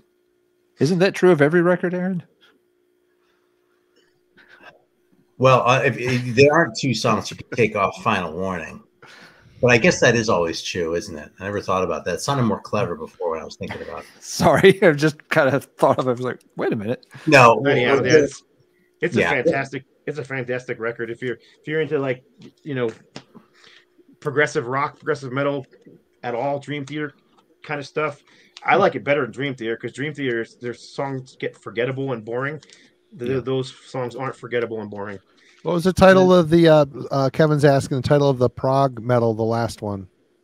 uh, that's blood of kings Okay. by Trytan, yeah, T R Y T A N, I think it is. Is that how they yes spell it? t-r-y-t-a-n yep um and that was released on vinyl cd and cassette i think Like last And the last one I'm going to show. This is another kind of obscure one from '89. This is Redeemer. I forgot about that one. I did too. It's it's, it's really good. hmm Uh, this is a reissue. I don't have an original. Um, this was uh, Cult Metal Classics from 2020. Do you have an original of that, Alan? I do not. That's a hard one to get. weren't they? Where are they from? They're overseas, are they? Right? Mm, yep, recorded Australia? in Sydney. So yep, Australia. Yeah, I think there's uh, in Australia or New Kind of, Zealand. kind of. I don't know. Kind of epic. Um, when I say epic, I'm thinking like Cirith Ungol, kind of. Yeah, like Okay. grandiose. Yeah. Yeah, kind of grandiose, like um, Manilla Road, that kind of thing going on. Um, so anyhow, Yeah, it's a good record. really I, I, I kind of dig the uh, the look too. um, obviously, looking looking like they're a bunch of guys from the Middle Ages, but It's cool. Still- It's cool cover. Different. Yeah, you know, I feel like the singer should be holding an egg, like on that um on that Slough Feg cover where Oh, the in guy the back. Yeah, yeah. Uh, down among the dead men. He's holding the egg. Yeah. hang on one second. Can I? Okay, she said I could do two more. Oh. She wants me to go help her. Um, these are not metal, but since we were talking earlier about some of the early stuff, I grabbed these to pull out. This is Vision. This is their first album. They put out three albums. Um, I would pass Just- that by on the rack. I'm just saying. yeah, the album covers the album covers horrible. It was Unassuming. This is an original. This is an original pressing. It was an independent release in nineteen in the early eighties. Um, but after Lynyrd Skynyrd's big plane crash, um, in what was that, nineteen seventy eight, some of the surviving members went on to form a Christian band, and this is it. Huh. Huh. So this is got Billy Powell on um, keyboards and Leon Wilkeson on bass, and then a well-known um, guitar player from a bunch of southern rock bands, Rocco uh, Marshall on guitar. And although it's Skynyrd, you tend to think you know southern rock. It, it's not really southern rock. It's sort of hard rock and uh, I don't know. Skynyrd meets Kansas. It's a little more progressive than that. Do you have this one, Aaron? Yeah, I, mean, like would- that record. It's uh you, you know, it's kind of AOR for my usual fare, but I like that record in spite of myself. Yeah. It's got some. It's got a bit of a bit of a Kansas vibe at times. Did you say? A, a lot more than a southern rock vibe actually. I don't think there's a southern rock vibe at all It's a the truth. I totally hear though. Yeah, it's- Absolutely. It's a really. It's a. It's a really good record. I. I mean, I'd never heard of it before. I, I was shocked how much I enjoyed it. I was kind of expecting it to totally suck, but it doesn't. Yeah, I kind of was Good. too. I. I and yeah, again, the cover is not great, but it, it is what it is. Yeah, yeah. Um, but it has been reissued. This this is another one of those albums to find an original.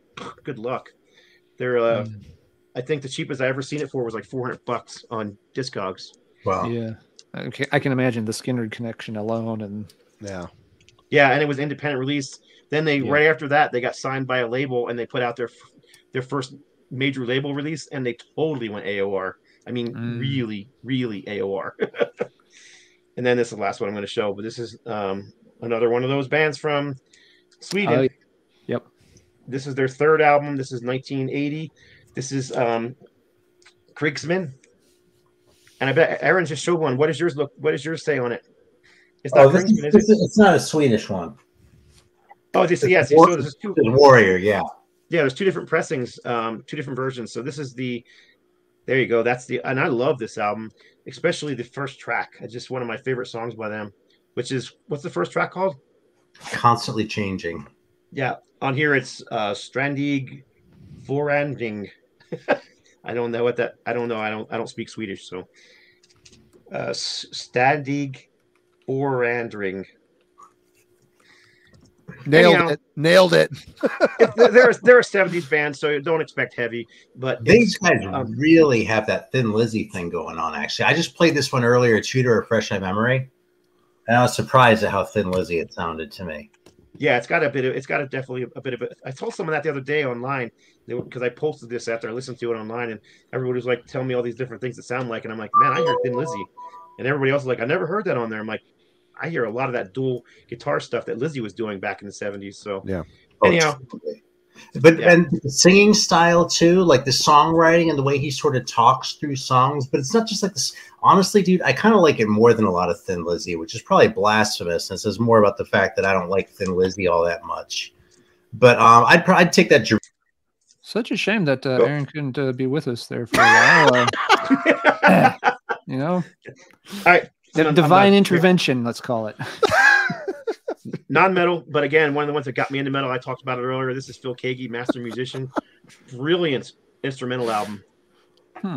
This is one of those albums you could put on when I don't know if you guys are married or not, but uh, put on when you're with your wife and and you want to uh, have some intimate time alone. Great guitar playing, that kind of stuff. And then finally, I Is love there, this is there any real short songs on it? Sorry, that was a bad joke. It's funny joke. Sorry, go ahead. this one's from 78 this is uh resurrection band rainbow's end and then very much a 70s record but Yep. very much a 70s heavy record um i don't know who, who to compare him to i think aaron has this album too would you compare him to somebody You sent me that record. oh no, cool, I too. really like that. I really like that stuff. But, uh, it's for a 70s album it's kind of cool it's got That's pretty cool. The die cut stuff. That's really Yeah. nice. mine doesn't have the die cut actually, but but those are rocking records. Those are good. I mean, I don't think they're incredible. they're a little bluesy but they're definitely 70s heavy You know what I always kind of think? I always kind of wish they would rise to the level of that Jimmy Hotz record. ah it's funny i pulled that one too but i better go before i get destroyed You better All right, we'll you with better go. Scott, thank you so much for hanging with us tonight. And we, we got to have you back on. So think of a I topic. appreciate it. I your head. really enjoyed it. It's been we had a great having time. We will. I have a few more things to show. We'll do that. We'll carry on without you, but good luck with your grandson. Hope everything's good. I'm going to show Thank the you. Jimmy Hotz record in your honor. I'm going to grab it. Right on. I appreciate it. It's an awesome. Hope everyone's okay, man. Everybody, go All check right. out Scott Waters' uh, sites. He's got a lot going on. Definitely go check him out. Yep. Cheers, Scott. Thanks, Talk man. at you later, man. Cheers. See ya. Take care, Scott. Thanks. All right, y'all got to see this cover, okay? All right, let's check this out. Yeah. So, what do you guys think? Uh, Kenny Rogers' beard should it go? Should it go away soon?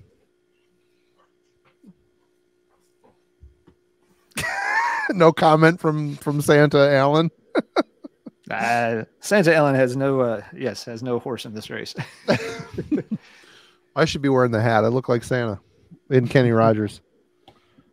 Yeah, that was great. It was great to have Scott on. That was awesome. We'll have to Yep. get him back again sometime. Lots of cool stuff. I'm gonna have to follow up on a couple of those. I want to hear that Red Sea, and I think I've heard that Dagon before. I, w- I wouldn't have remembered it, but when he showed us, like, I'm pretty sure I checked The that out. fact that's Christian is a, a, a brain scrambler because, like you said, you're thinking Lovecraft. You know, Yeah. Cthulhu. Yeah, well, Tom mentioned in the chat that it may have, the word may have originally or uh, may have originated from like a Middle Eastern god. So there may be like a biblical connection to the word Dagon. Then Lovecraft kind of you know lifted that and retooled it a bit. So yeah, maybe it's got more of a Christian uh, leaning than we realized. But all right, uh, you got it, Aaron. What you got? It's all your turn anyway, Aaron. All right, so so in honor of Scott having to take off since he just uh, since this just got referenced, and this is one of many great records that he put me on to, and not the usual shit. This is That Jimmy cover is fucking awesome. Beyond the Crystal Sea. And Beyond the Crystal Sea is what this fucking record is because it's a Jesus record, right? But it's like this weird, like prog shit. It's a concept record. And like, and, and by the way, just in case you were thinking, boy, the artist really like the way he rendered that guy is really no, dude. That's just what he looks like. That's awesome. The artist fucking nailed it. he did nail it. Yeah, let me see if there's anything funny in the gatefold. No, it's just the lyrics. Yeah, Do- there you go. we- Vision Records. Do we dare ask what the concept is? I don't. I honestly, I don't even fucking remember what it is. But the titles are like observations of a larger reality, which of which part one, part A is March of the Dead Souls, and part B is Hand of the Most High. Danzig meets the girl from Stranger Things on the cover. nice. Okay, Pretty much. I gotta stop smiling because my lip is hurt. I bit the shit out of my lip earlier in the week when I was Oh. watching. Every time I smile, it kind of yanks on it, and like it makes it hard to talk about a record. it's fucking just inherently entertaining as this one. I mean, this one just fucking. It's like the never ending story on acid, if that's possible.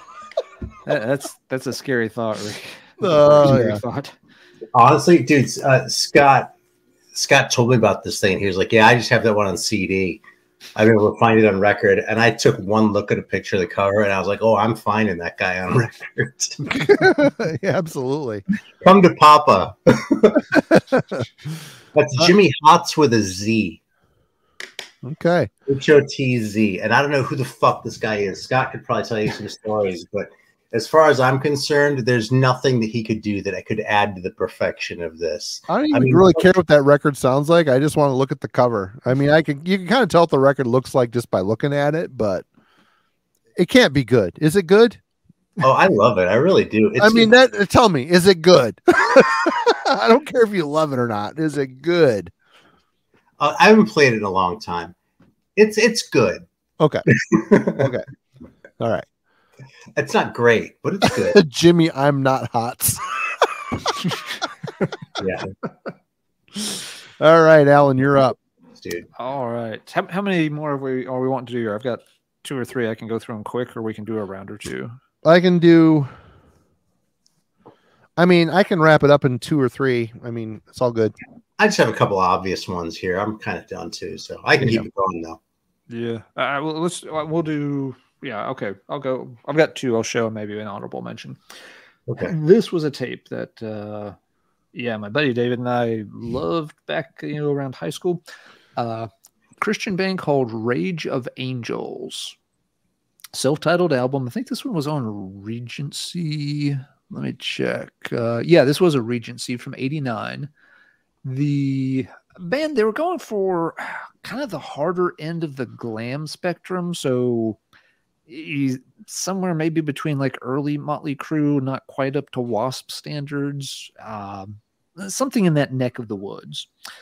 Uh, it's hit or miss. Some of the songs are good, some of the songs are a little meh, uh, but it's got one absolute pounder on it called "Are You Ready for Thunder?"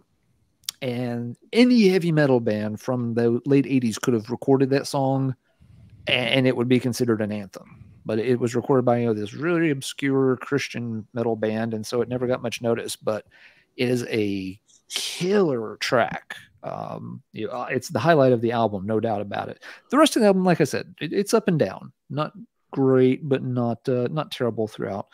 But that one song alone is worth the price of admission. This was a funny one because uh, you know he and I used to hit a lot of flea markets and stuff, uh, especially in the summer.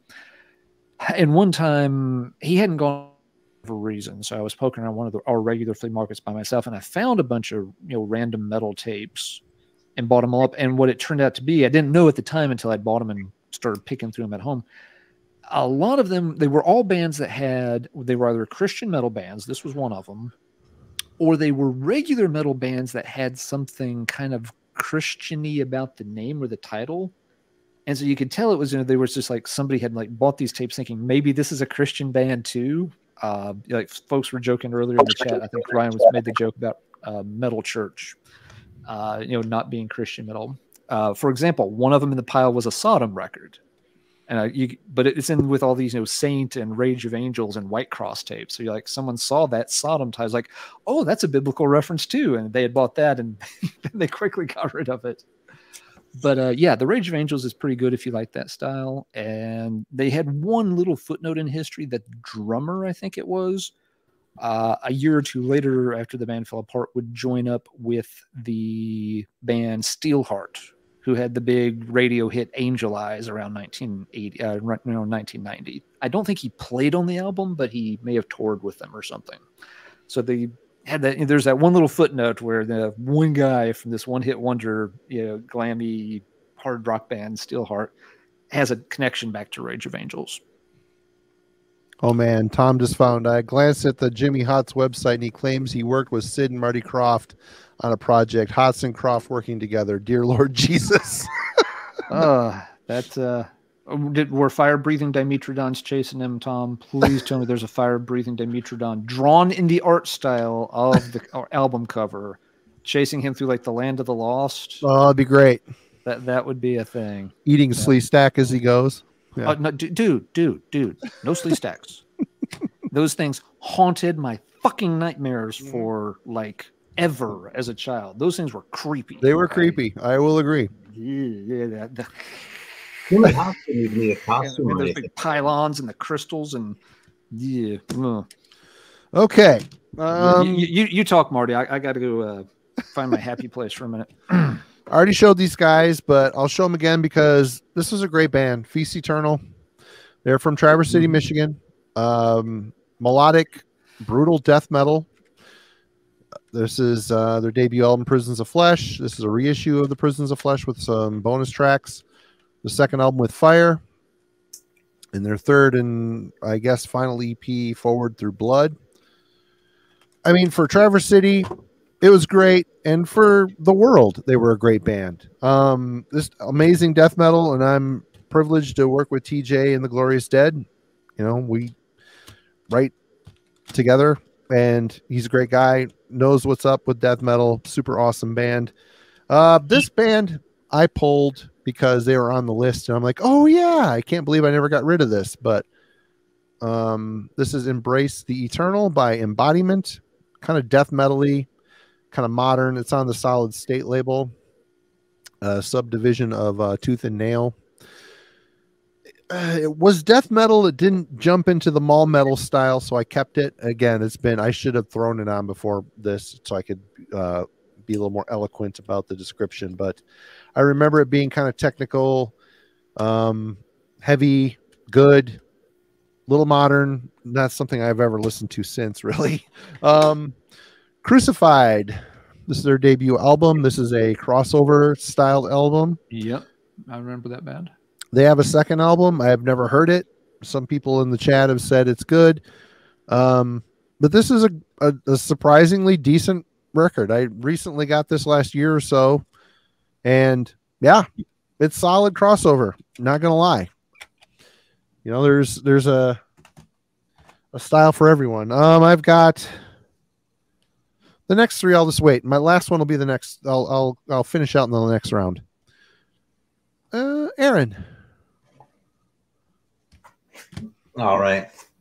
Well, I have two more here. I guess I'll just hit them both real quick because they're both kind of minor ones, relatively speaking. I mean, I kind of feel bad that I keep holding up these shitty records and talking about how great they are, but fuck it. This one's cheap.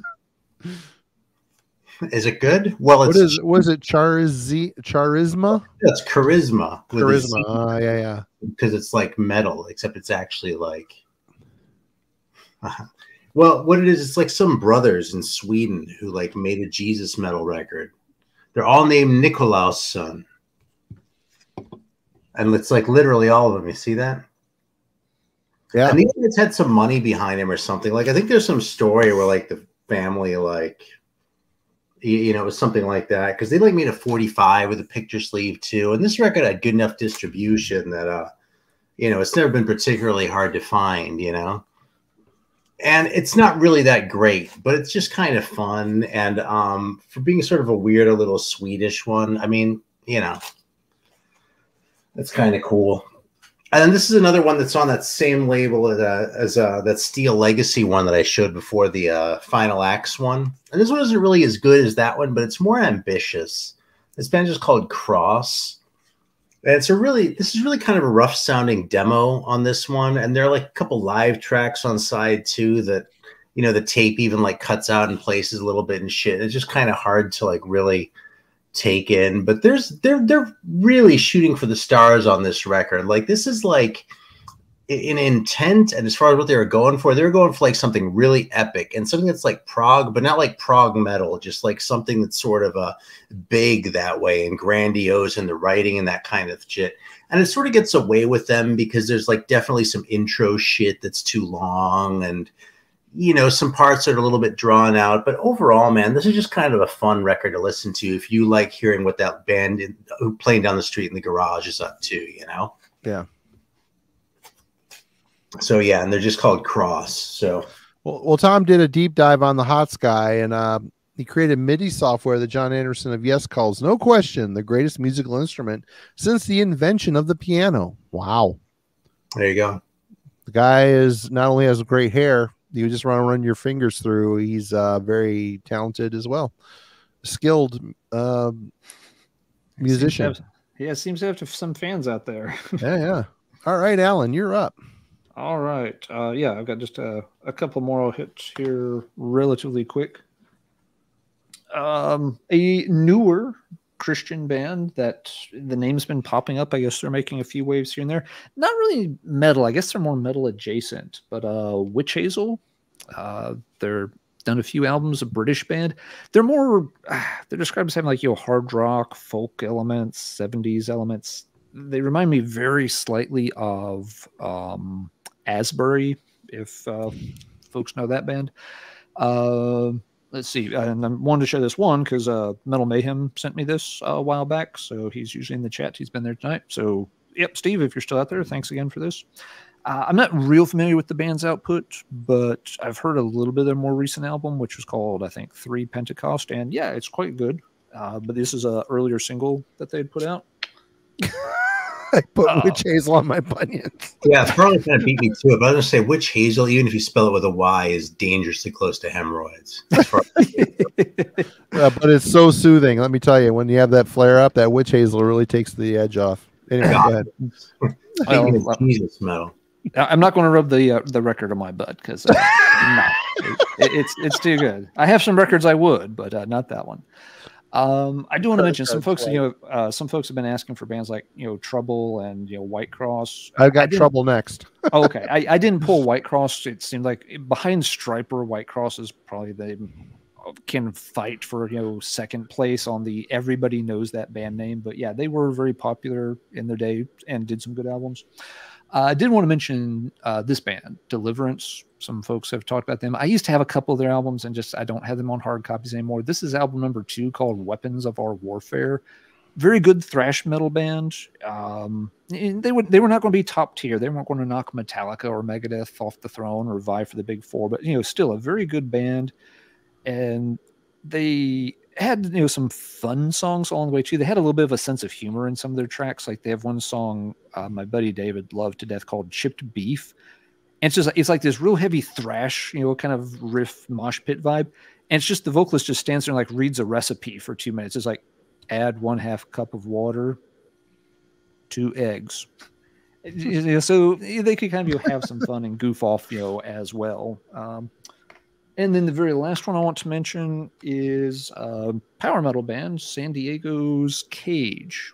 I thought I had that CD. I was looking for it. I must have got rid of it back in the day, but that's a good CD. It's pretty good. Yeah, this is their third album, I believe. Uh, Darker Than Black. If it looks funny on screen, it's got one of these slip cases that's a three dimensional thing. So you're supposed to be able to see the angel warrior fighting the devil here in three dimensions. It actually looks surprisingly good. It, it actually works better than most of these kind of things. 3D shit. Yeah, yeah, kinda, it, yeah. It actually does have some movement. Uh, yeah, and it is actually showing up on camera. I'm kind of amazed. Yeah, but um, blow it. yeah, Cage, uh, you know, at least early on, did definitely play with you know, some you know Christian lyrics. They did you know the good versus evil, but always very strong on the you know good shall conquer evil kind of thing. They got away from that on later albums. The later albums are still very good. I like them, but they kind of eventually I think they kind of burned themselves out on this theme because the fourth album after this one, Hell Destroyer, is like a 75, 76 minute album. It pushes right up to the limit of one CD, and it's a concept album of good versus evil. The problem with it is they'd already done it on this album and wrapped it all into like one really good track. It's uh the first one, Kill the, you know, track number two, Kill the Devil. It's epic tells the whole story in like you know five and a half minutes. You know, Brotherhood of Priests, one of you know you know Satan's you know priests betrays him and joins the coalition, and they take him down. Bada boom, bada bing, it's done. It's a killer song. The Hell Destroy album takes that same exact story and stretches it into 79 minutes worth of songs. Ooh, too much. Too much. Which, yeah, it's that's it's like not that one minute away from not being able to fit on a CD. they really did push it right up to the limit. It's not the songs are not bad in any way. It's just eh, it feels too long for the concept because they'd already done that. They'd been there, done that. You didn't need to take that one song and stretch it into a full concept album. So yeah, after that point, they kind of I think uh, got tired of slash downplayed you know the the more overt Christian themes on some of the stuff, and you know they did lots of other cool songs instead. But uh, yeah, Cage is one that wanted to show off for more of the power metal side of uh, Christian metal. And I, the band may not ever have identified as, oh, we're a Christian metal band, but it was always pretty obvious, you know, with a lot of their lyrical themes early on that uh, they were coming from that point, which is fine. They did a great job with it. They're, if anyone's not familiar with Cage, uh, Painkiller, Judas Priest. By the time you get to like albums three, four, five, they, th these guys loved Painkiller, and they do Painkiller, and they do it quite well. That's what you're looking at. The first two albums maybe not quite in the Painkiller vibe, but uh, yeah. After that, you can get those albums and feel like you're listening to the uh, just an, another very good take on uh, Painkiller, but sometimes with a lot of Christian lyrics, sometimes with a lot of comic book and warfare and creepy monster lyrics. So they're all over the place. All right, Marty, I will stop there for the night and let you wrap us up. All right. Yeah, Michael uh, Scott, before he had to bail, um, he showed a couple Narnia things for sure. Mm-hmm. All right. I'm going to round this out with uh, Christian adjacent bands. I was afraid I wasn't going to have enough content. And again, all these are kind of obvious. The first obvious one is Trouble. This is a self titled, but it's mostly known by Psalm 9. Got the skull. And actually, my uh, my favorite of the three, because it's the first one I heard by them, Run to the Light. Um, these guys were dubbed by their label as white metal, which in hindsight the band didn't like. Mm-hmm. But um, you know, they're all potheads with faith. We'll, we'll just kind of put it with there. They they had faith and they they they smoked some pot. Um, but you know the whole Christian vibe on here that was getting passed around, it was accepted. I don't know if it's just because on the label they're on, because I remember correctly back in the day, the Christian bands kind of got some heat. Here's another. Here's another. Um, ghettoized. what's that? They got ghettoized, and they did it themselves to a large degree too Yep. by distributing through the. I mean, that's why we didn't hear of a lot of these bands at all. It's Yep. it's kind of what we yeah kind of what we talked about earlier some of some of them just wanted to preach to the choir and, and not really step outside that box so yeah they kind of let themselves get cornered sometimes Okay, here's another one. The, um, I mean, from the cover art, Candlemass Nightfall. You got the song on here, Samaritan. Very much that that classic tale. Guy helps out a, a beggar, a homeless, and his uh, three angels come to the foot of his bed and reward him in heaven. it's an Basically, amazing song it's an amazing song. This is an amazing album. And where the Christian bands were getting lambasted for being Christian, you got guys like this that are toying with it heavily. They're playing with the themes. They got the Gregorian style, you know, feel. There's like this is a very religious feeling album. It Their just vocalist is. is messiah Yeah, Messiah Marcolin. And you know, he's got that grandiose, huge, sounds like he's singing in a cathedral style, you know, oh i thought you were talking about the fro Oh, the fro too. The fro, you, you could see that from heaven for sure. Um, They, they don't make halos in that size. they do not. But um, yeah, this is a band that got a pass. They just did. And you want to know the kings of the the getting a pass? Black Sabbath.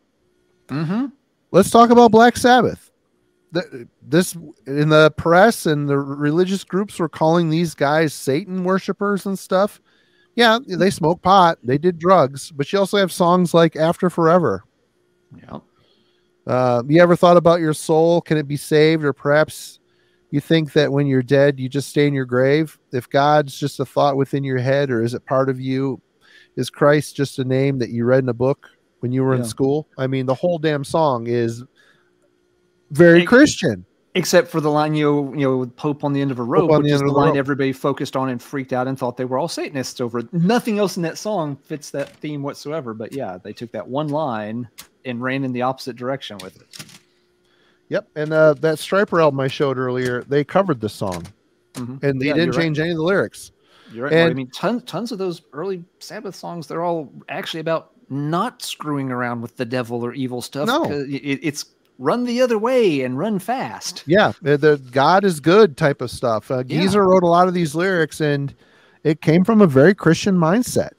You know, be be afraid of the darkness, be afraid of the devil, come to the light. That's where the good things are. And then, of course, you have songs on the same album about Sweet Leaf, and uh, you know, there's a lot of political topics in here too. But Sure. at their core, they were a very Christiany feeling band. But yeah, I just want to pull some Christian adjacent um adjacent bands out as well that didn't get plastered like a lot of these other Christian bands did. What what, what gave them the pass because they also sang about drugs? I don't know. I don't know, but yeah. Does anybody think have have anything else before we uh, knock it on the head? I think we've covered it quite well. It's been a good topic. Uh, I was really glad Scott could join us for it. Uh, all kinds of cool stuff he showed off there.